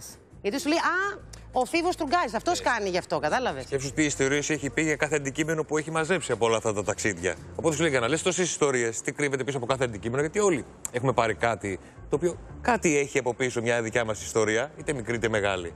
Οπότε σου λέει τώρα εδώ έχει φέρει και αντικείμενα διαφορετικά από αυτά που παίρνουμε εμείς. Οπότε έχει πολύ ωραία ιστορία. Θα το δούμε αυτό στο μέλλον. Μάλιστα, Φίβος Τρουγκάρη, buyer, το Cash or Trash. Ε, Σας τη φέραμε όμως, δεν είναι μόνο αυτό το νούμερο ένα. ναι, γιατί σήμερα είναι διευρυμένο το νούμερο 1 και εκεί θα συναντήσουμε και τον Γιώργο Καράμπελα, έναν ακόμα buyer του ήδη αγαπημένου μας Cash or Trash. Ένας άνθρωπος ο οποίος είναι κοσμοπολίτης με όλη τη σημασία της έννοιας. Ένας άνθρωπος που ξέρει να εισπράττει την τέχνη σε κάθε μορφή της και να τη διαχειρίζεται με το δικό του ξεχωριστό τρόπο. Πιστεύει μάλλον σε αυτό που λέγεται Ντοστογιέφσκι ότι η ομορφιά θα σώσει τον κόσμο. Λέει ότι η αισθητική είναι ο Θεός του. Σήμερα εδώ στην πρώτη θέση του Breakfast και ο Γιώργος Καράμπελα.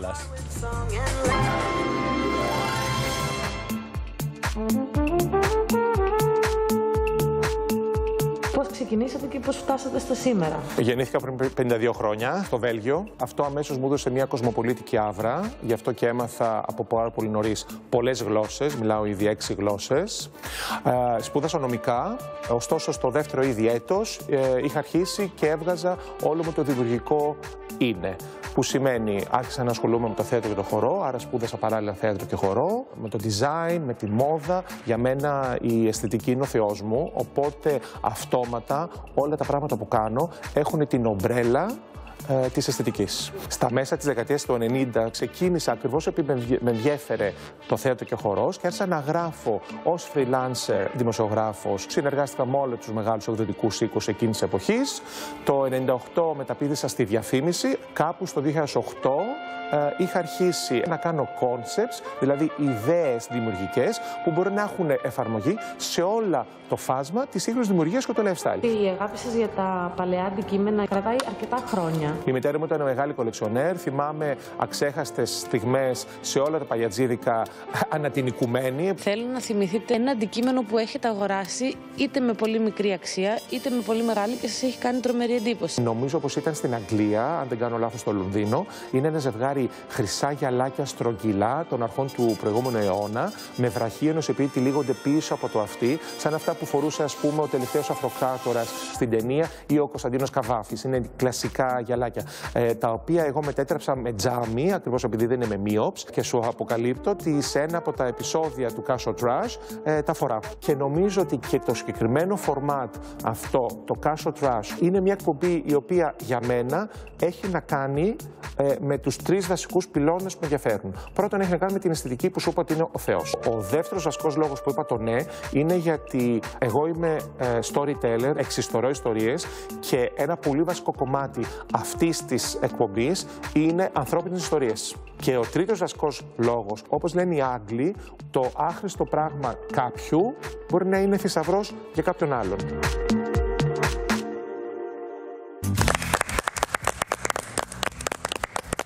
Ακριβώς έτσι. Το άχρηστο πράγμα για κάποιον, πολύ χρήσιμο για κάποιον άλλον. Νομίζω ότι όλοι έχουμε κάποια τέτοια αντικείμενα που μπορεί σε κάποιον να είναι πολύ χρησιμότερα από ότι είναι σε εμάς. Πόσο διαφορετικό ο Γιώργος Κάρα. Λέει, ο- Όλοι οι buyers μεταξύ τους. Ελπίζω να μην κάνω λάθος. Ε; Τον έχω ακούσει στο ραδιόφωνο. Το Γιώργο Καράμπελα, παιδιά. Και μιλάει για τα ταξίδια του. Ε, Πρέπει να έχει κάνει ραδιόφωνο αρκετά χρόνια. Ανεβάζει και στο Instagram πάρα πολλά από τα ταξίδια, τον ανεβάζει stories, κάνει βιντεάκια. Είναι ένας πολύ ενδιαφέρον άνθρωπος και νομίζω ότι θα δώσει τη δική του πινελιά. Και μου αρέσει πάρα πολύ αυτό που λέει, παιδιά, για τις προσωπικές ιστορίες. Γιατί κάνει ακόμα πιο ξεχωριστό όλο αυτό το project. Δηλαδή, πέρα από τα αντικείμενα, ε, δίνουν, παίρνουν όλα αυτά τα πράγματα ζωή μέσα από το τι σημαίνουν για τον κάθε άνθρωπο. Που αυτό το βλέπαμε παλαιότερα πολύ. Στις γιαγιάδες μας, στους παππούδες μας, που τα πράγματα τα οποία είχαν ας πούμε, στο σαλόνι. Και έλεγες τόσα πράγματα, ρε γιαγιά, γιατί. Και σου λέει, Όχι, κάτι είναι, κάθε ένα κάτι συμβολίζει. Νομίζω ότι λίγο θα αναθεωρήσουμε με το Κάσορ Trust για όλα αυτά που μπορεί να έχουμε δίπλα μας. Γιατί Ισχύει. ζούμε σε μια εποχή υπερκαταναλωτισμού και ξεχνάμε τι πραγματικά έχει αξία. Ποια αντικείμενα πραγματικά μπορεί να έχουν μια συναισθηματική αξία ή και μια καλλιτεχνική αξία, με μια, ε, μια άλλη διάσταση τέλος πάντων μπορεί να δώσει στη ζωή μας. Ε, όλη η ιστορία είναι να ακούσεις την τιμή του εκτιμητή εκείνη την ώρα και να μπεις μέσα στο άλλο δωμάτιο Ε, που μας είχε παιδιά. πάει η κυρία Μοιραδάκη και να, να αρχίσουν τα τέτοια. ναι, ναι. τις τιμές και, και τα τρο... και χτυπήματα. τρομερή αισθητική στο σπίτι. Και αύριο θα γνωρίσουμε και τον τελευταίο γυναίκα ή άντρα, buyer, δεν θα πούμε ακόμα, μέχρι τη μεγάλη πρεμιέρα το Σάββατο στις 6.30. Βεβαίως, αύριο θα έχουμε και την κυρία Μοιραράκη μαζί μας για να κλείσει εντυπωσιακά λίγο πριν την πρεμιέρα του Castle Trash που το περιμένουμε πώς και πώς. Break και ο Παύλος τι φτιάχνει. Φτιάχνει πα... Παυλίτο, Παύλοβα. πα... Παύλοβα, Παυλίτο πήγα να πω. Ο Παύλος φτιάχνει Με κρέμα- Παύλοβα. Με κρέμα πορτοκάλι. Και αμέσως μετά έχουμε τη μεγάλη χαρά και μεγάλη τιμή να έχουμε μαζί μας σήμερα έναν πολύ μεγάλο ηθοποιό.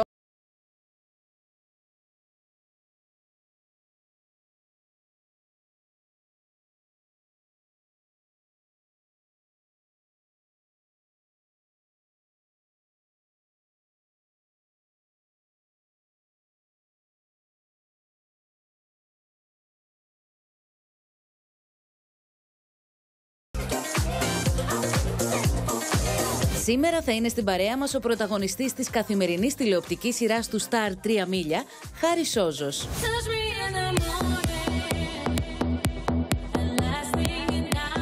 Στις 11.30 η Άση Μπίλιου αναλύει αστρολογικά σε ποιο ζώδιο έχουμε την Αφροδίτη στο οροσκόπιό μας και τι σημαίνει για τον έρωτα και το χρήμα στη ζωή μας.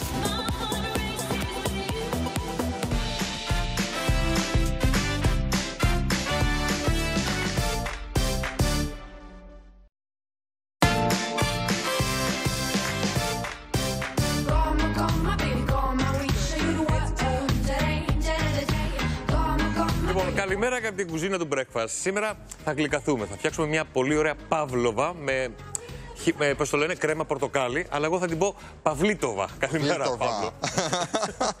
Καλημέρα. Λοιπόν, Παύλοβα σήμερα. Έχουμε κάποια σταδιάκια, αλλά θα την κάνουμε σιγά σιγά. Να την δούμε όλοι, να την κάνουμε ωραία. Είναι εύκολο. Κοίταξε, δεν είναι δύσκολο. Τα υλικά είναι πολύ εύκολα. Απλά θέλει λίγο, θέλει λίγο προσοχή, θέλει λίγο, Λίγο υπομονή, αγάπη. λίγο αγάπη. Όλα αυτά. Λοιπόν, ξεκινάμε. Έχουμε τέσσερις, κρό... τέσσερις κρόκους. Μπράβο. Τέσσερα σπράδια. Έχουμε μοιράσει τα αυγά μας σε τέσσερα σπράδια. Τα έχουμε χτυπήσει λίγο. Βλέπετε εδώ που έχει γίνει λίγο γιαουρτάκι. Το ανοίγω εγώ. Να χτυπηθεί κι άλλο. Ωραία. Εδώ πέρα. Απορίες να μου λύσει λίγο.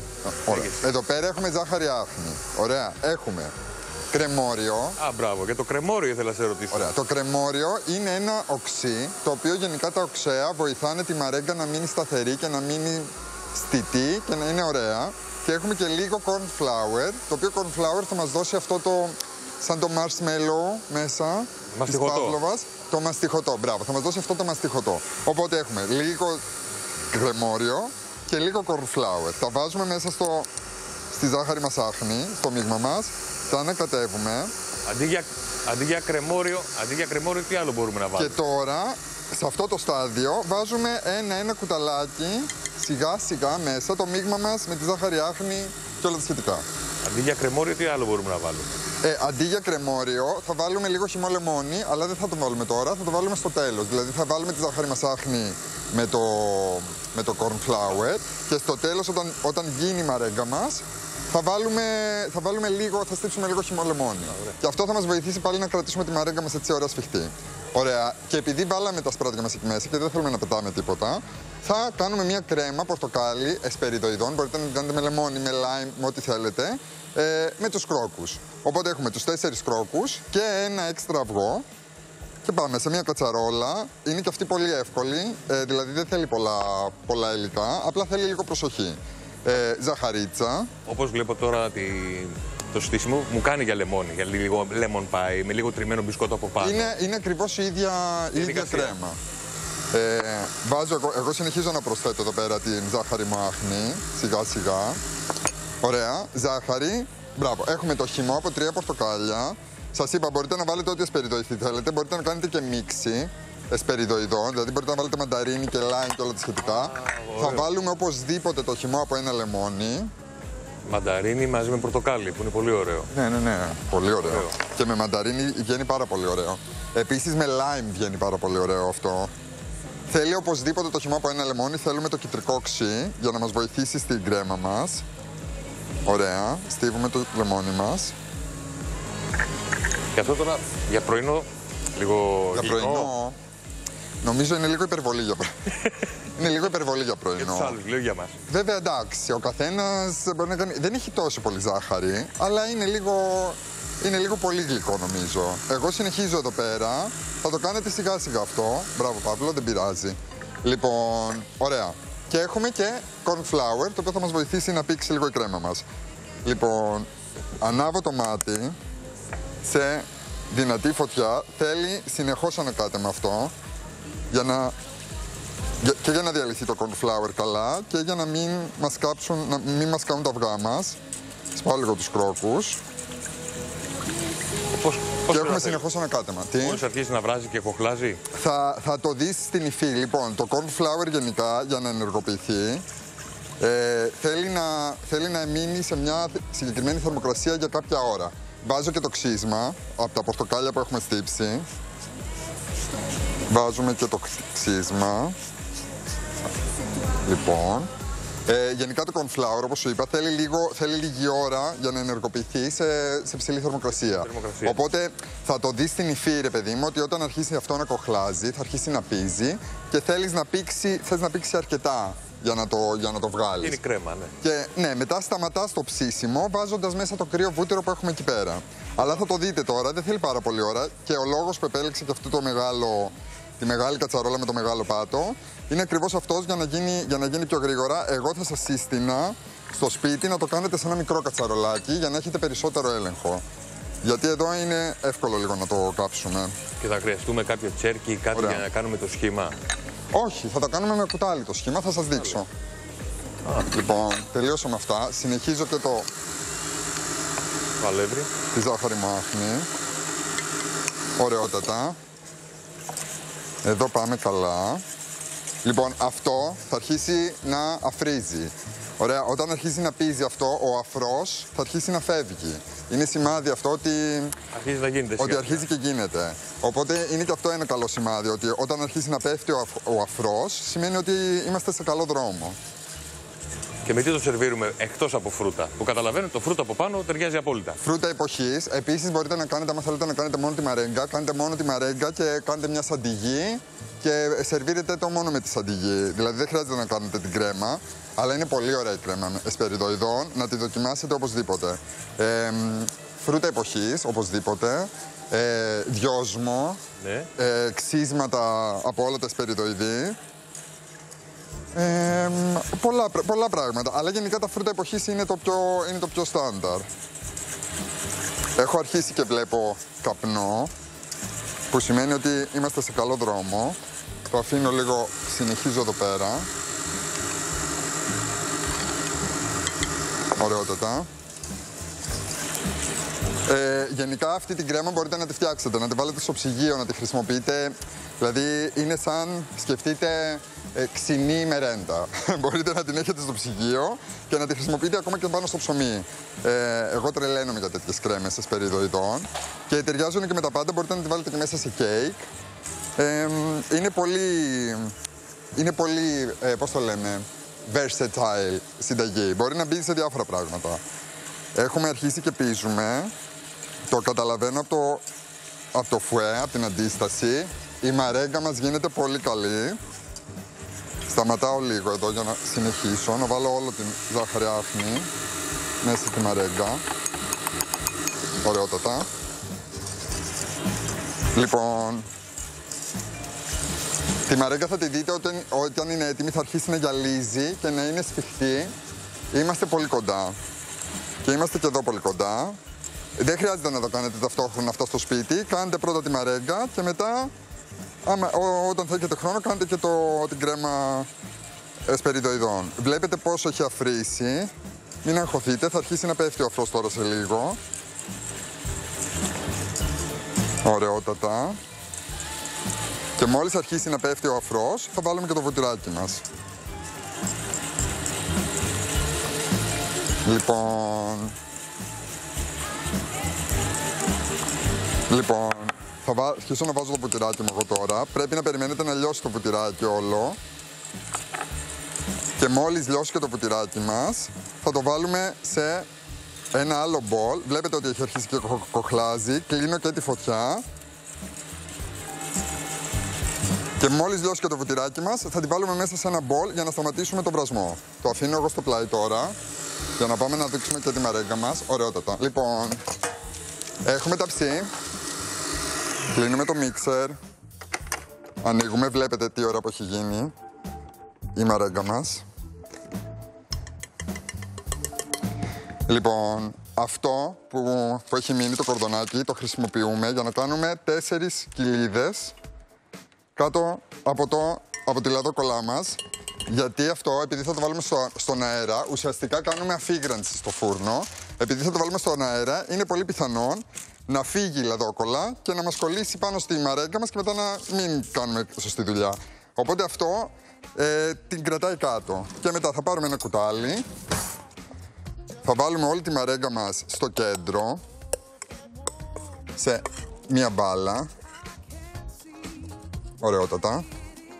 Να σας πω ότι το φούρνο τον έχουμε στους 150 βαθμούς στον αέρα και προθερμαίνεται και μόλις βάλουμε τη μαρέγκα μέσα θα το χαμηλώσουμε στους 100, θα την αφήσουμε μέσα για μια μισή ώρα και μετά θα κλείσουμε το φούρνο και θα την αφήσουμε μέσα να κρυώσει. Και όπως είναι έτσι η μπάλα μας, πιέζουμε προς το κάτω και σπρώχνουμε τα τυχώματα προς τα έξω. Και έτσι θα κάνουμε μια ωραιότατη φωλιά που άμα δεν θέλετε να κάνετε μεγάλη φωλιά, μπορείτε να κάνετε πολλές μικρές όπως έκανα εκεί. Κάντε την ίδια δι- διαδικασία με πιο πολλές μπαλίτσες, ρε παιδί μου, από τη μαρέγκα σας. Την ανοίγετε, ανοίγετε καλά, καλά, καλά να πάει μέχρι το τέρμα. Προσπαθείτε να αφήσετε ένα τείχος γύρω-γύρω με το κουτάλι σας. Και αυτό είναι. Πάει στο φούρνο. Είπαμε μία μισή ώρα στους 100 βαθμούς. Μετά κλείνουμε το φούρνο, την αφήνουμε μέσα, την ξεχνάμε για άλλη μία μισή ώρα να κρυώσει Και μετά, όταν κρυώσει πλήρως και είναι και κρύα και κρέμα μας, κάνουμε την, ε, πώς το λέμε, τη συναρμολόγηση. Ελπίζω να τη δοκιμάσετε. Πάμε στο Γιώργο και στην Ελίνα. Λοιπόν, έφτασε η ώρα για τον καλεσμένος μας. Έχουμε ένα πάρα πολύ ωραίο γλυκό να του προσφέρουμε και έρχεται απευθείας από τα τρία μίλια. Παίρνει το καράβι του, γιατί σαν καπετάνιος με πλοίο θα έρθει, εννοείται. Ο Χάρης Σόζος εδώ στο Breakfast at Star.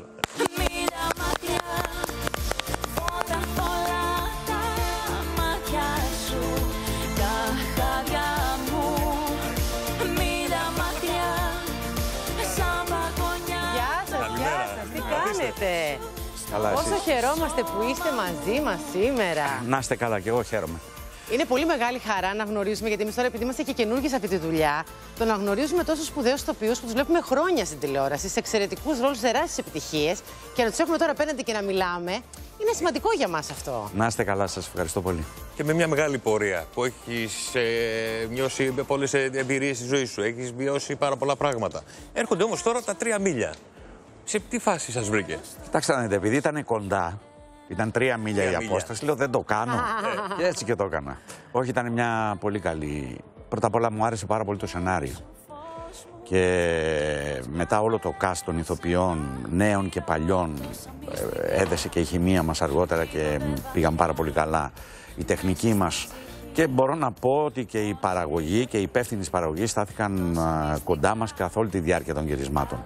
Ήταν μια από τις πιο ευτυχισμένες περιόδους της ζωής μου, θα έλεγα της επαγγελματικής.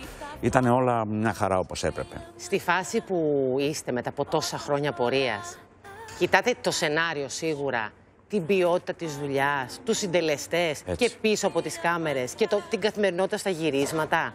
Είστε πιο επιλεκτικός στη δουλειά. Πάντα ήμουν επιλεκτικός. Δηλαδή, πάντα οι δουλειές που έκανα ήταν κάτι πρώτα απ' όλα έπρεπε να.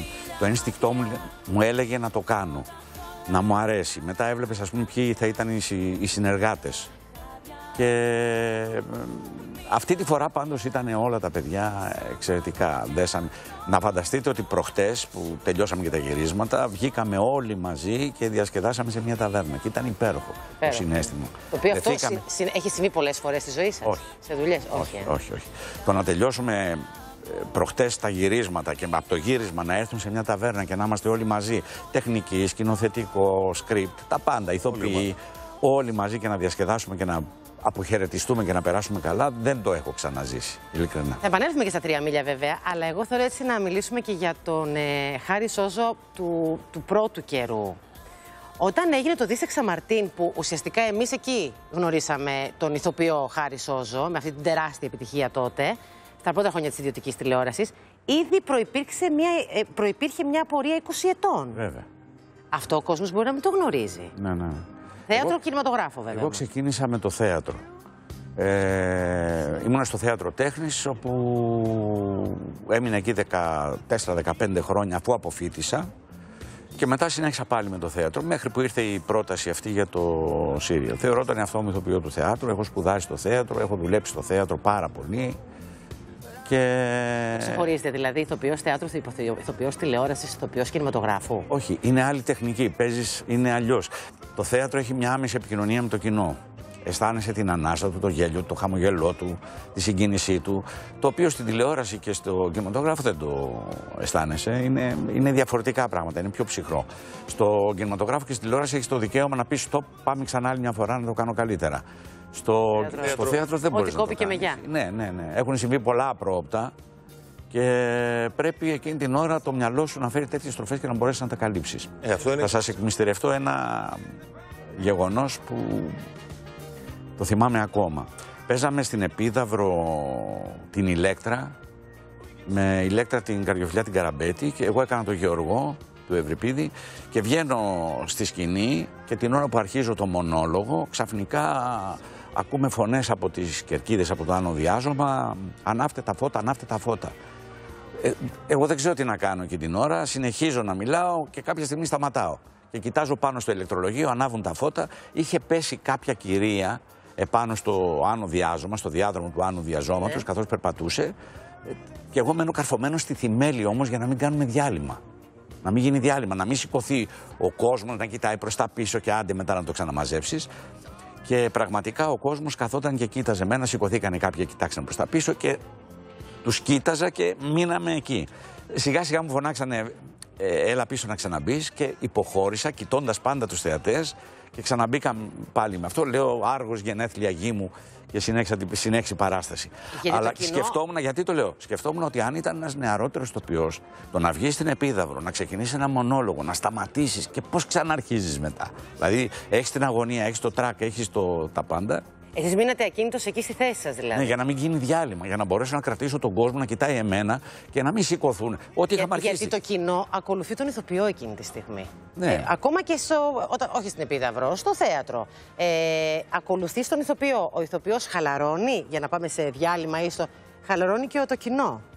Ακολουθούμε τον, θέ, τον ε, ηθοποιό Εννοώ, εκείνης. εννοώ ότι δεν έφυγα. Αν έφευγα θα σηκωνόταν. Ναι, ο θα ηθοποιός, φεύγατε, θα ναι, κοιτούσε ναι, τι ναι, έγινε. ναι, ναι. Αλλά όταν είδαν έναν ηθοποιό να κάθεται πάνω στη θημέλη και να τους κοιτάζει, τους τους κράτησε λιγάκι να μην γίνει διάλειμμα, να μην χαθεί η ατμόσφαιρα που έχει Δημιουργηθεί ήδη ξεκινήσει. Ναι. Εκείνη την ώρα. Είναι πολύ ωραία η ιστορία ε, που συζητάγαμε και στο διάλειμμα για το πώς ξε- ασχοληθήκατε με την υποκριτική. Ότι ε, αν δεν υπήρχε ένα, ένα συγκεκριμένο περιστατικό ενός ε, ηθοποιού άλλου που σας βοήθησε να μπείτε στο θέατρο, στη σχολή τότε, μπορεί να μην είχατε γίνει ηθοποιός.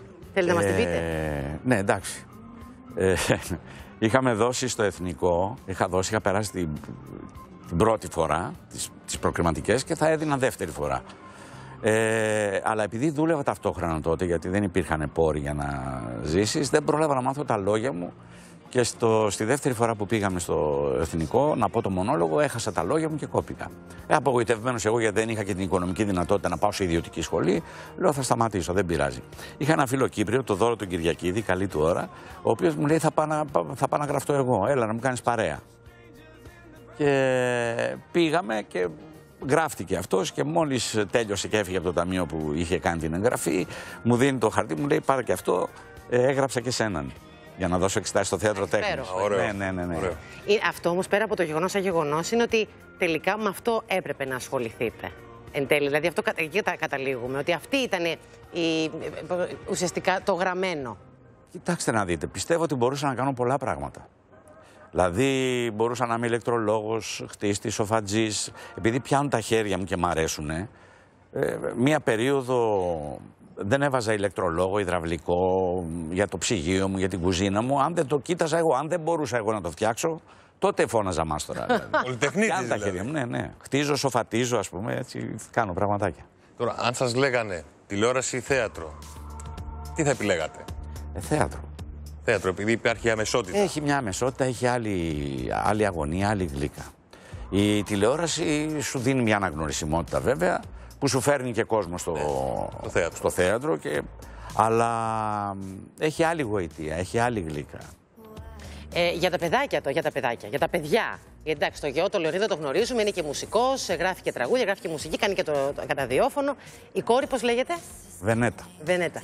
Ε, γιατί, μάλλον εντάξει, ο Λεωνίδας την πήρε την πορεία του, είναι στη μουσική. Η κόρη έχει υποκριτικό ταλέντο, έχω διαβάσει. Έντονο. Εντάξει, είναι καλή, είναι καλή.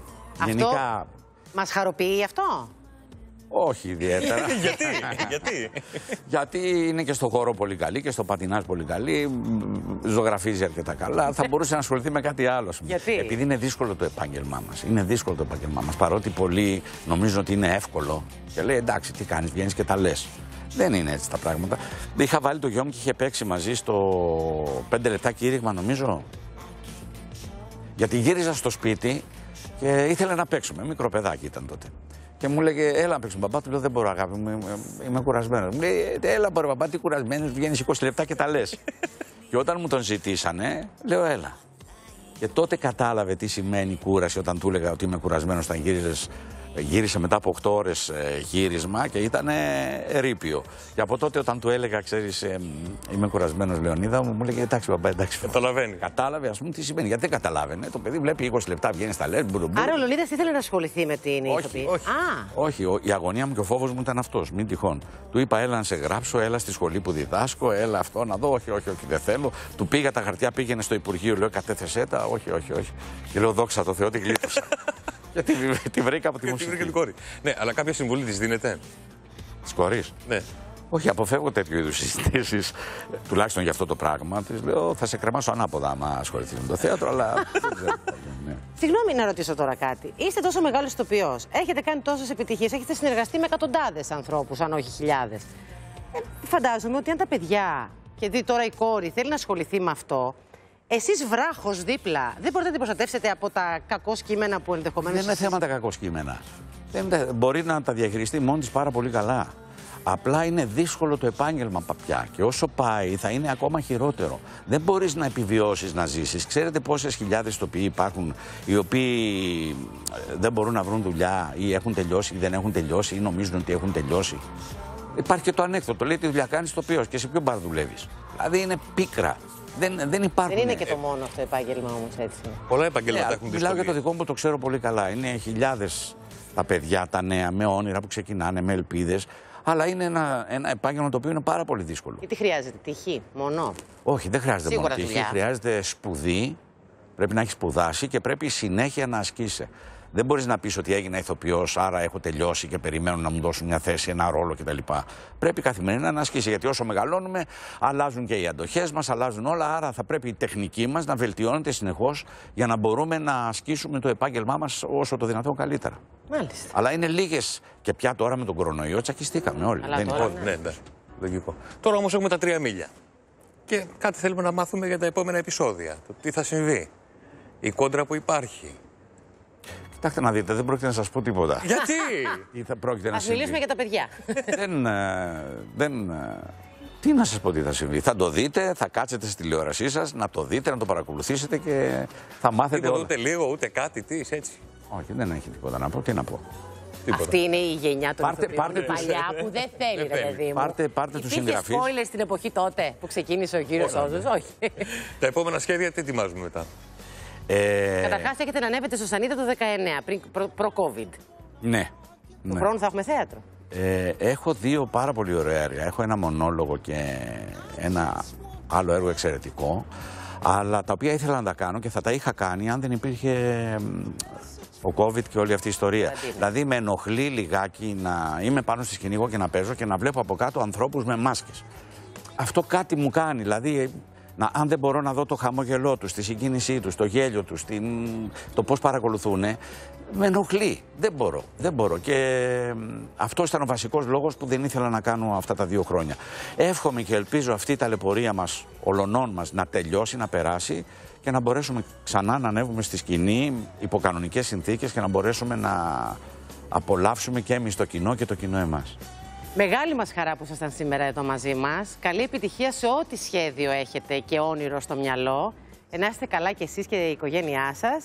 Και καλή επιτυχία στα 3 μίλια βεβαίως 6 παρά 20 καθημερινά στο Star Channel. Ευχαριστούμε πάρα πάρα πάρα πολύ. Εγώ σας ευχαριστώ πάρα πολύ. Να είστε καλά. Ο κύριος Χάρης Σόζος, βεβαίως, εδώ στο Breakfast. Προχωράμε διαφημιστικό διάλειμμα και επιστρέφουμε με Ασυμπίλιου. Ασυμπίλιου.gr. Σε ποιο ζώδιο έχετε την Αφροδίτη, το έχετε μάθει όλοι εδώ; Σε λίγο η Άση αναλύει τι σημαίνει αυτό για τις σχέσεις, τη χαρά, την ευτυχία, την ευχαρίστηση.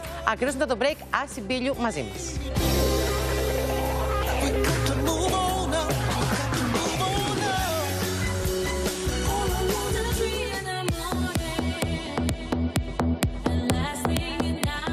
Στις 11.30 η Άση Μπίλιου αναλύει αστρολογικά σε ποιο ζώδιο έχουμε την Αφροδίτη στο οροσκόπιό μας και τι σημαίνει για τον έρωτα και το χρήμα στη ζωή μας.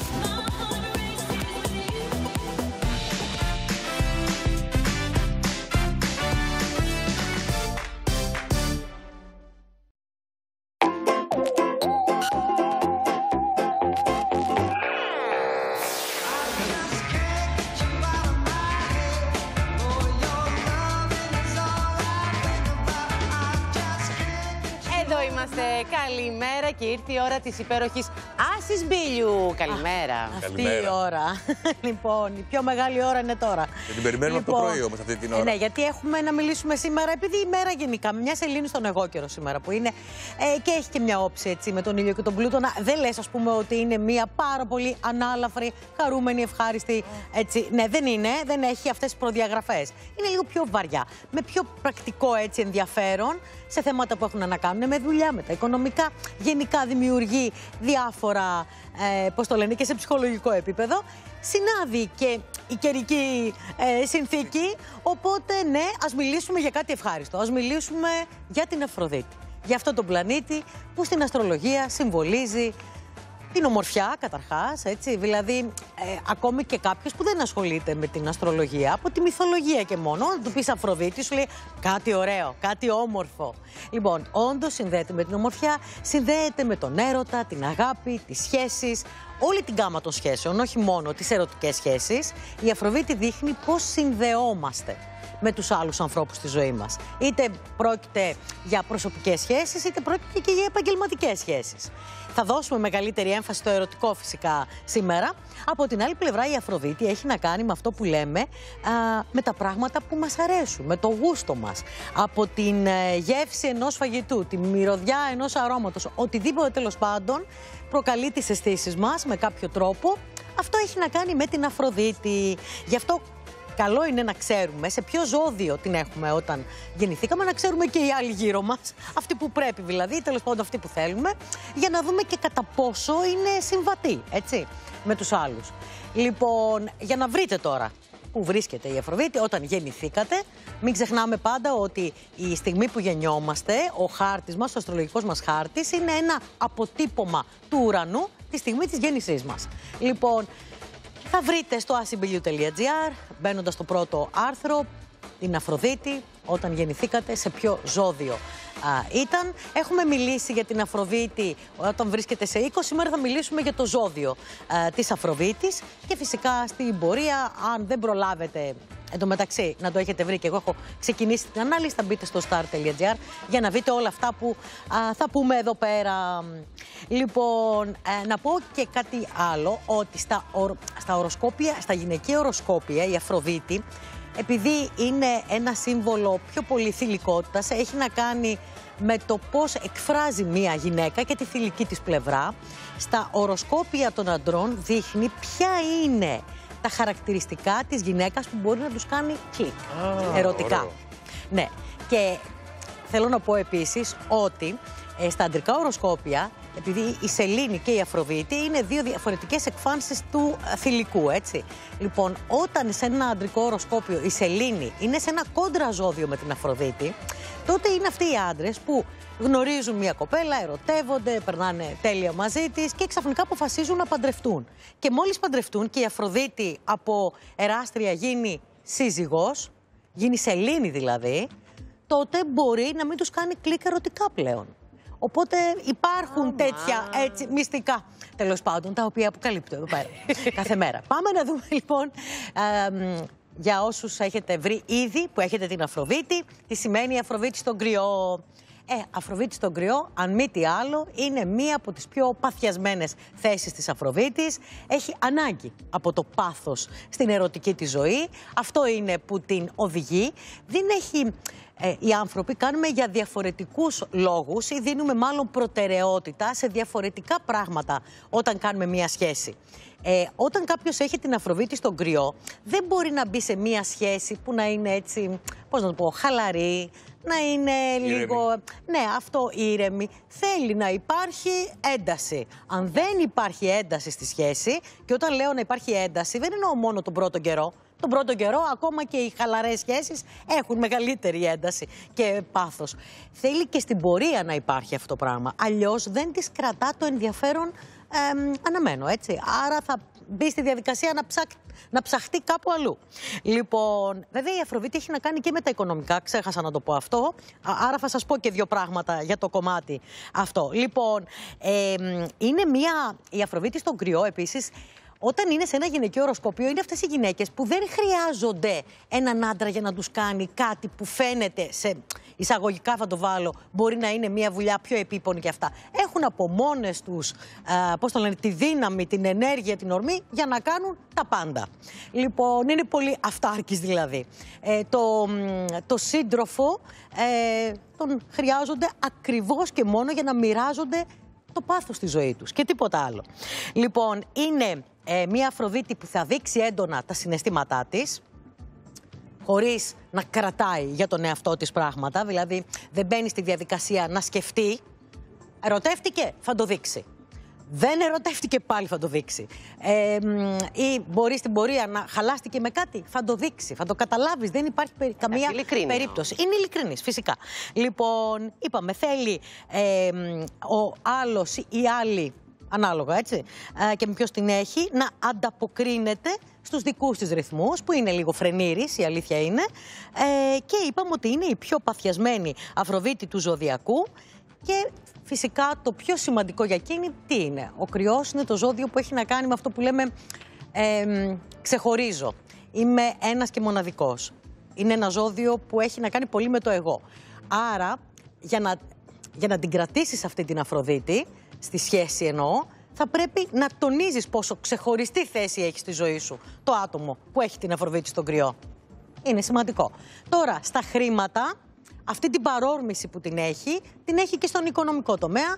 Ε, που σημαίνει τι αυτό, ότι ε, μπορεί να ξοδεύει, να μην τα μετράει τα πράγματα πάρα πολύ. Ε, την ενδιαφέρει το οικονομικό, είναι μια Αφροδίτη που μπορεί να βγάλει χρήμα, αλλά ίσως το κομμάτι της διαχείρισης άγεται και φέρεται από την παρόρμησή της. Πάμε να δούμε μια πολύ διαφορετική Αφροδίτη. Η Αφροδίτη στον Ταύρο. Είναι και το ζώδιο που κυβερνάει η Αφροδίτη, είναι θέση κυβέρνησης για την Αφροδίτη ο Ταύρος. Λοιπόν, ε, Όπως η Αφροδίτη στον κρυό κυνηγά, ε, η Αφροδίτη στον Ταύρο δεν της αρέσει αυτή η διαδικασία. Θέλει να νιώσει καταρχάς σιγουριά. Δηλαδή, είναι οι άνθρωποι που δεν θα δείξουν αμέσως το συνέστημά τους, από φόβο ίσως, με φάνε χιλόπιτα αυτό που λέμε. Έτσι. Είτε είναι άντρες είτε είναι γυναίκες. Κρατάνε, είναι υπομονετική η Αφροδίτη αυτή. Ε, θα αφήσει να περάσει χρόνος, να βεβαιωθεί πρώτα και για τα δικά της συναισθήματα και για τα συναισθήματα του άλλου και μετά θα προχωρήσει. Γενικά ε, είναι μια Αφροδίτη που έχει ιδιαίτερη αισθητική, αγαπά την ομορφιά, ε, μ, αγαπά το καλό φαγητό, αγαπά την πολυτέλεια, ε, μ, της αρέσει η καλή ζωή. Μερικές φορές, ακόμη και στον τομέα των ε, σχέσεων, είναι σημαντικό αυτό που λέμε με την καλή ζωή. Δηλαδή θέλει να μοιράζεται την καλή ζωή με τον σύντροφό της. Που σημαίνει ότι την ενδιαφέρει και ο σύντροφός της να έχει τέλος πάντων την άνεσή του, την οικονομική, έτσι. Λοιπόν, δεν θέλει να στερείται. Δεν, ε, δεν μπορεί να μπει σε μία σχέση ε, και να νιώθει ότι στερείται ή ότι δεν απολαμβάνει όλα αυτά που θέλει, γιατί μπορεί να υπάρχουν ε, πολλά οικονομικά προβλήματα. Είναι μια Αφροδίτη που η ασφάλεια, ότι, είτε είναι συναισθηματική ασφάλεια, είτε είναι οικονομική ασφάλεια, είναι διαγερτικό για εκείνη. Είναι το πιο σημαντικό, είναι η προτεραιότητά της. Ε, και είναι και μια θέση που γενικά χαρίζει στον άνθρωπο ε, μια πιο άνετη πρόσβαση, ακόμη και στην οικονομική αυθονία. Λοιπόν, είναι σταθεροί άνθρωποι, αυτοί που έχουν την Αφροδίτη στον Ταύρο, δηλαδή όταν αγαπούν, αγαπούν. Δύσκολα αλλάζει. Δηλαδή θα πρέπει ο άλλος να προσπαθήσει πάρα πολύ ε, για να κάνει αυτή την Αφροδίτη, αυτόν που έχει την Αφροδίτη στον Ταύρο δηλαδή, ε, να χάσει το ενδιαφέρον. Είναι μια Αφροδίτη επίσης που αγαπά τη σταθερότητα. Τώρα, το αγαπά τη σταθερότητα μερικές φορές μπορεί να είναι παγίδα. Γιατί η- ο Ταύρος γενικά έχει την τάση να βολεύεται. Οπότε, ναι, μπορεί κάποιες στιγμές, ακόμα και αν μια σχέση δεν έχει, δεν της δίνει αυτά που ακριβώς θέλει, μπορεί λόγω της ανάγκης εμ, για ασφάλεια και σταθερότητα να παραμείνει στη σχέση, μολονότι η σχέση μπορεί να έχει τελειώσει στην πραγματικότητα. Αυτό είναι ας πούμε το αρνητικό της. Πάμε να δούμε Αφροδίτη στους διδήμους. Ε, πφ, Εννοείται πολύ διαφορετική από την Αφροδίτη στον Ταύρο. Αυτή η Αφροδίτη είναι μ, μια Αφροδίτη που αγαπά την ποικιλία στα ερεθίσματα. Ε, αυτό δεν έχει να κάνει απαραίτητα με την ερωτική της ζωή, δηλαδή ότι θα είναι μια άστατη, ασταθής Αφροδίτη. Άλλωστε, για το πόσο άστατη ή ασταθής μπορεί να είναι η ερωτική ζωή κάποιου φαίνεται και από τις όψεις που κάνει η Αφροδίτη, όχι μόνο από το ζώδιο. Ε, είναι μια Αφροδίτη που θέλει καινούριες εμπειρίες. Αγαπά ε, τα ταξίδια, αγαπά να αλλάζει παραστάσεις. Είναι σημαντικό για αυτήν και μέσα στη σχέση όμως θέλει να μοιράζεται με το σύντροφο, τη σύντροφο αυτές τις ε, εμπειρίες, έτσι. Δηλαδή, ε, μπαίνοντας σε μια σχέση όπου ο άλλος κάθεται σε έναν καναπέ όλη μέρα και βλέπει τηλεόραση, με αυτήν την Αφροδίτη ε, δεν θα προχωρήσει πάρα πολύ το πράγμα. Αντιθέτως, ε, μ, πώς το λένε, το, η, η- η κίνηση, η, μ, το να μαθαίνει και να γνωρίζει καινούρια πράγματα, αν μπορεί να το μοιραστεί μέσα στη σχέση, είναι το καλύτερό της και δεν μπορούσε να μείνει για πάντα πιστή. Δηλαδή, θέλω να πω ότι έχει να κάνει και με το πόσο καλύπτονται οι ανάγκες που μπορεί να έχει ο άνθρωπος με τη συγκεκριμένη Αφροδίτη. Λοιπόν, πέρα από αυτό, ναι, έχει ευκολία στις γνωριμίες. Δηλαδή, είναι μια Αφροδίτη που εύκολα μπορεί να γνωρίσει α, όχι μόνο σε ερωτικό επίπεδο, της αρέσει το φλερτ. Δεν σημαίνει απαραίτητα επειδή φλερτάρει ότι καταλήγει και σε σχέση. Ε, μπορεί να είναι και σε σχέση και να φλερτάρει. Το φλερτ είναι οξυγόνο για αυτήν την Αφροδίτη. Κοινωνικό- να μπορεί να παίξει. κοινωνικοποίηση. Είναι πάρα πολύ κοινωνική Αφροδίτη. Γενικά το οξυγόνο της είναι η επικοινωνία και αλίμονος αυτόν που πάει να τη στερήσει αυτή την κατάσταση. Δηλαδή, αν έχεις ένα σύντροφο ο οποίος ζηλεύει, γι' αυτό λέω ότι παίζει ρόλο και που έχει ο άλλος την Αφροδίτη του. Αν έχει μια Αφροδίτη στον Ταύρο και εσύ έχεις Αφροδίτη στους διδήμου, ε, θα υποφέρουν και οι δύο. Γι' αυτό λέω πρέπει να υπάρχει μια συμβατότητα. Αν ο άλλος έχει την Αφροδίτη του στο ζυγό, θα περάσει πάρα πολύ ωραία. Αφροδίτης στους διδήμου θέλει προσοχή και στα οικονομικά βέβαια, γιατί υπάρχει μια αστάθεια στον τρόπο που διαχειρίζεται ε, το οικονομικό.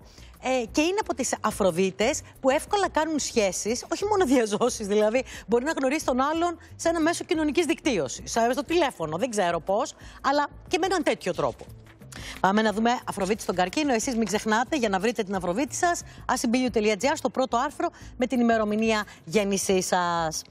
Αφροδίτη στον καρκίνο, μια πολύ γλυκιά Αφροδίτη, πολύ τρυφερή, πολύ ευαίσθητη. Ε, βάζει το συνέστημα πάνω απ' όλα. Λειτουργεί αντίθετα με την Αφροδίτη στους διδήμου που είναι πιο εγκεφαλική και είπαμε ότι το οξυγόνο της είναι η επικοινωνία, το φλερτ κτλ. κτλ. Εδώ ο άνθρωπος ε, βάζει μπροστά την καρδιά. Λειτουργεί με την καρδιά, με το συνέστημά του. Ε, κύριο χαρακτηριστικό της βέβαια είναι η ανασφάλεια. Είναι μια ανασφαλής Αφροδίτη και μια κυκλοθυμική Αφροδίτη επίσης. Λοιπόν, θέλει δηλαδή τι; Θέλει να τον διαβεβαιώνει ο άλλος. Αυτό το μ' αγαπάς, μ' Ε, αγαπάς. επιβεβαίωση. Αυτό, ναι.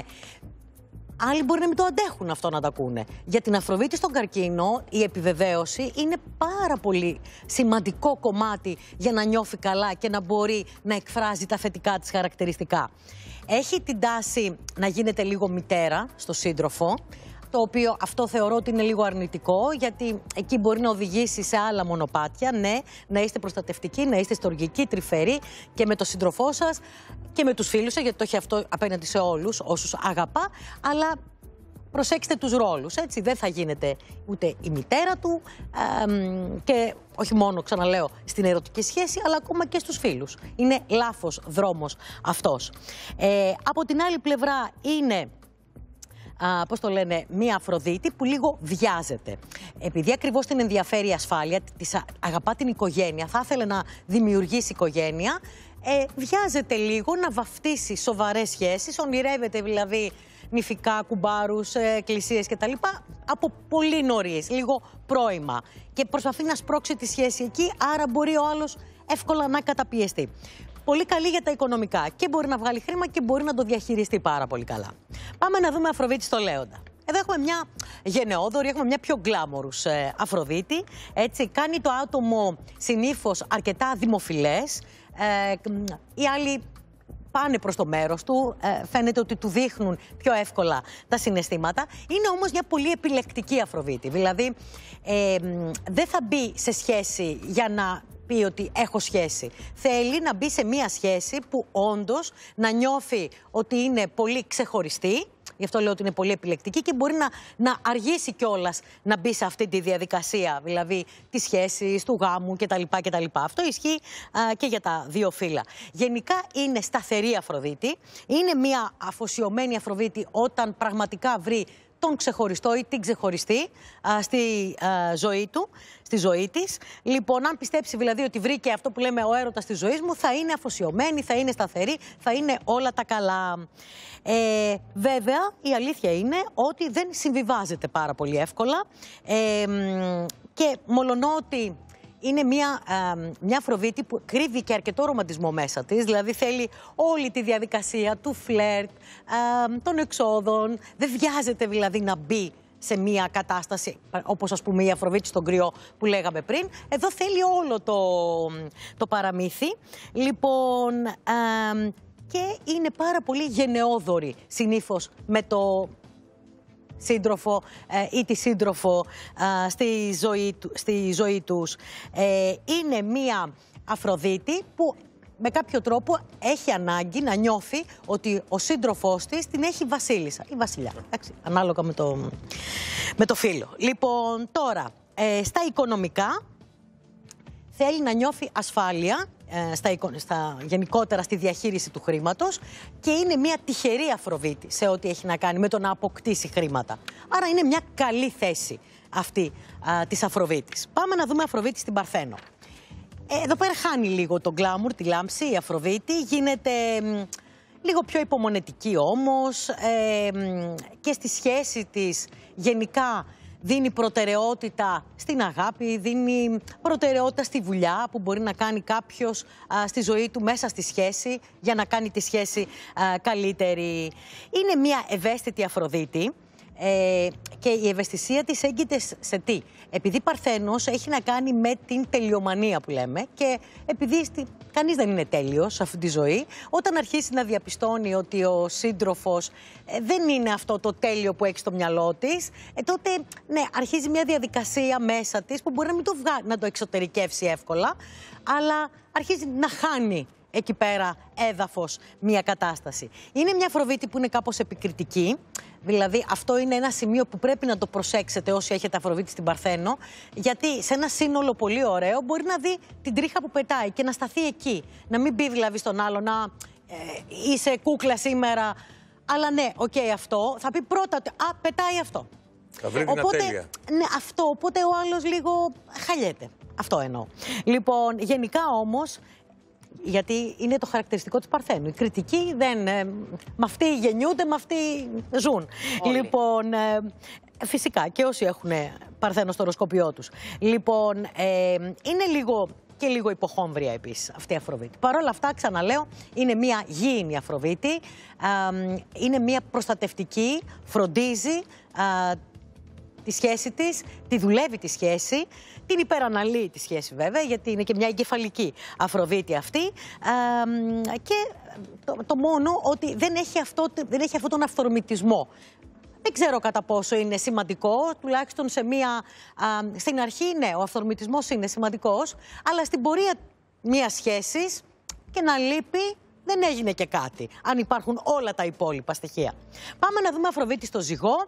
Εδώ επίσης ένα ζώδιο που κυβερνάει η Αφροδίτη. Α, και γι' αυτό και είναι πάρα πολύ σημαντικό για το άτομο που έχει την Αφροδίτη στο ζυγό να, έχει, να κάνει σχέσεις. Όχι μόνο ερωτικές και φιλικές σχέσεις και έχει μια ευκολία. Έχει μια ευκολία δηλαδή στο να γίνεται συμπαθής α, από τους άλλους, άρα να το προσεγγίζουν αρκετοί άνθρωποι και βέβαια η σχέση, το να μοιράζεται, είναι το α και το ω για έναν άνθρωπο που έχει την Αφροδίτη στο ζυγό. Ε, και ακριβώς επειδή είναι έτσι, είναι πάρα πολύ σημαντικός ο τομέας α, των ερωτικών, δηλαδή αν δεν βρει αυτή την αρμονία, αυτή την ισορροπία που θέλει στην προσωπική του ζωή, μένει με έναν ικανοποίητο, το οποίο μπορεί να του βγαίνει και σε άλλες εκδηλώσεις α, της ζωής του. Ε, έχει μια γοητεία, έχει μια έμφυτη ευγένεια, αυτή η θέση ε, της Αφροδίτης στο ζυγό. Απλά μερικές φορές παρουσιάζει τάσεις εξάρτησης στις σχέσεις. Δηλαδή, γενικά ο ζυγός το έχει αυτό, να εξαρτάται εύκολα από τη διάθεση του άλλου, σε σημείο που μερικές φορές μπορεί να μην ξεχωρίζει ποιες πραγματικά είναι οι δικές του διαθέσεις και ποιες είναι του άλλου. Έχει την τάση να υποχωρεί και να συμβιβάζεται. Και είναι και μία Αφροδίτη, όπως είναι μαζί με την Αφροδίτη στον εγώκερο, είναι οι δύο Αφροδίτες οι οποίες δίνουν μεγάλο. μεγάλο ε, ε, μάλλον παίζει πολύ μεγάλο ρόλο στη ζωή τους το τι θα πούν οι άλλοι. Είναι δηλαδή δύο Αφροδίτες που δίνουν σημασία στα λόγια από την οικογένειά τους, το τι θα πει το οικογενειακό μου περιβάλλον, μέχρι τι θα πούν οι φίλοι μου, μέχρι τι θα πει γενικότερα ο κόσμος. Και αυτό μερικές φορές μπορεί να τους εγκλωβίζει σε σχέσεις οι οποίες μπορεί να έχουν τελειώσει, αλλά επειδή δεν θέλω να δώσω δικαιώματα, επειδή πει ο θα κόσμος. φανεί περίεργο, τι θα πει ο κόσμος, μπορεί να μένουν σε μια σχέση ακόμα και αν δεν ικανοποιούνται. Ε, μ, αυτό για την Αφροδίτη στο ζυγό. Πάμε να δούμε Αφροδίτη στο Σκορπιό. Η Αφροδίτη στο Σκορπιό ε, είναι σε ένα μυστικιστικό περιβάλλον, έτσι, ε, σε ένα περιβάλλον με βαθιά συναισθήματα, με έντονες επιθυμίες, εξεξουαλική ορμή, πάθος. Είναι μία από τις πιο ε, σεξι θέσεις για την Αφροδίτη, είτε την έχει ένας άντρας, είτε την έχει μια γυναίκα. Είναι μια Αφροδίτη που ζηλεύει επίσης. Ε, είναι μια Αφροδίτη που θέλει σίγουρα το έτερο νήμιση να είναι αφοσιωμένο. Τώρα για την ίδια αυτό ε, μπορεί και να μην είναι κανόνας. Αλλά σίγουρα θέλει η σχέση να είναι αφοσιωμένη, ε, ψυχήτε σώματι. Έχει μια αυτοκαταστροφική τάση αυτή η Αφροδίτη, είναι αυτό του, ε, του Σκορπιού.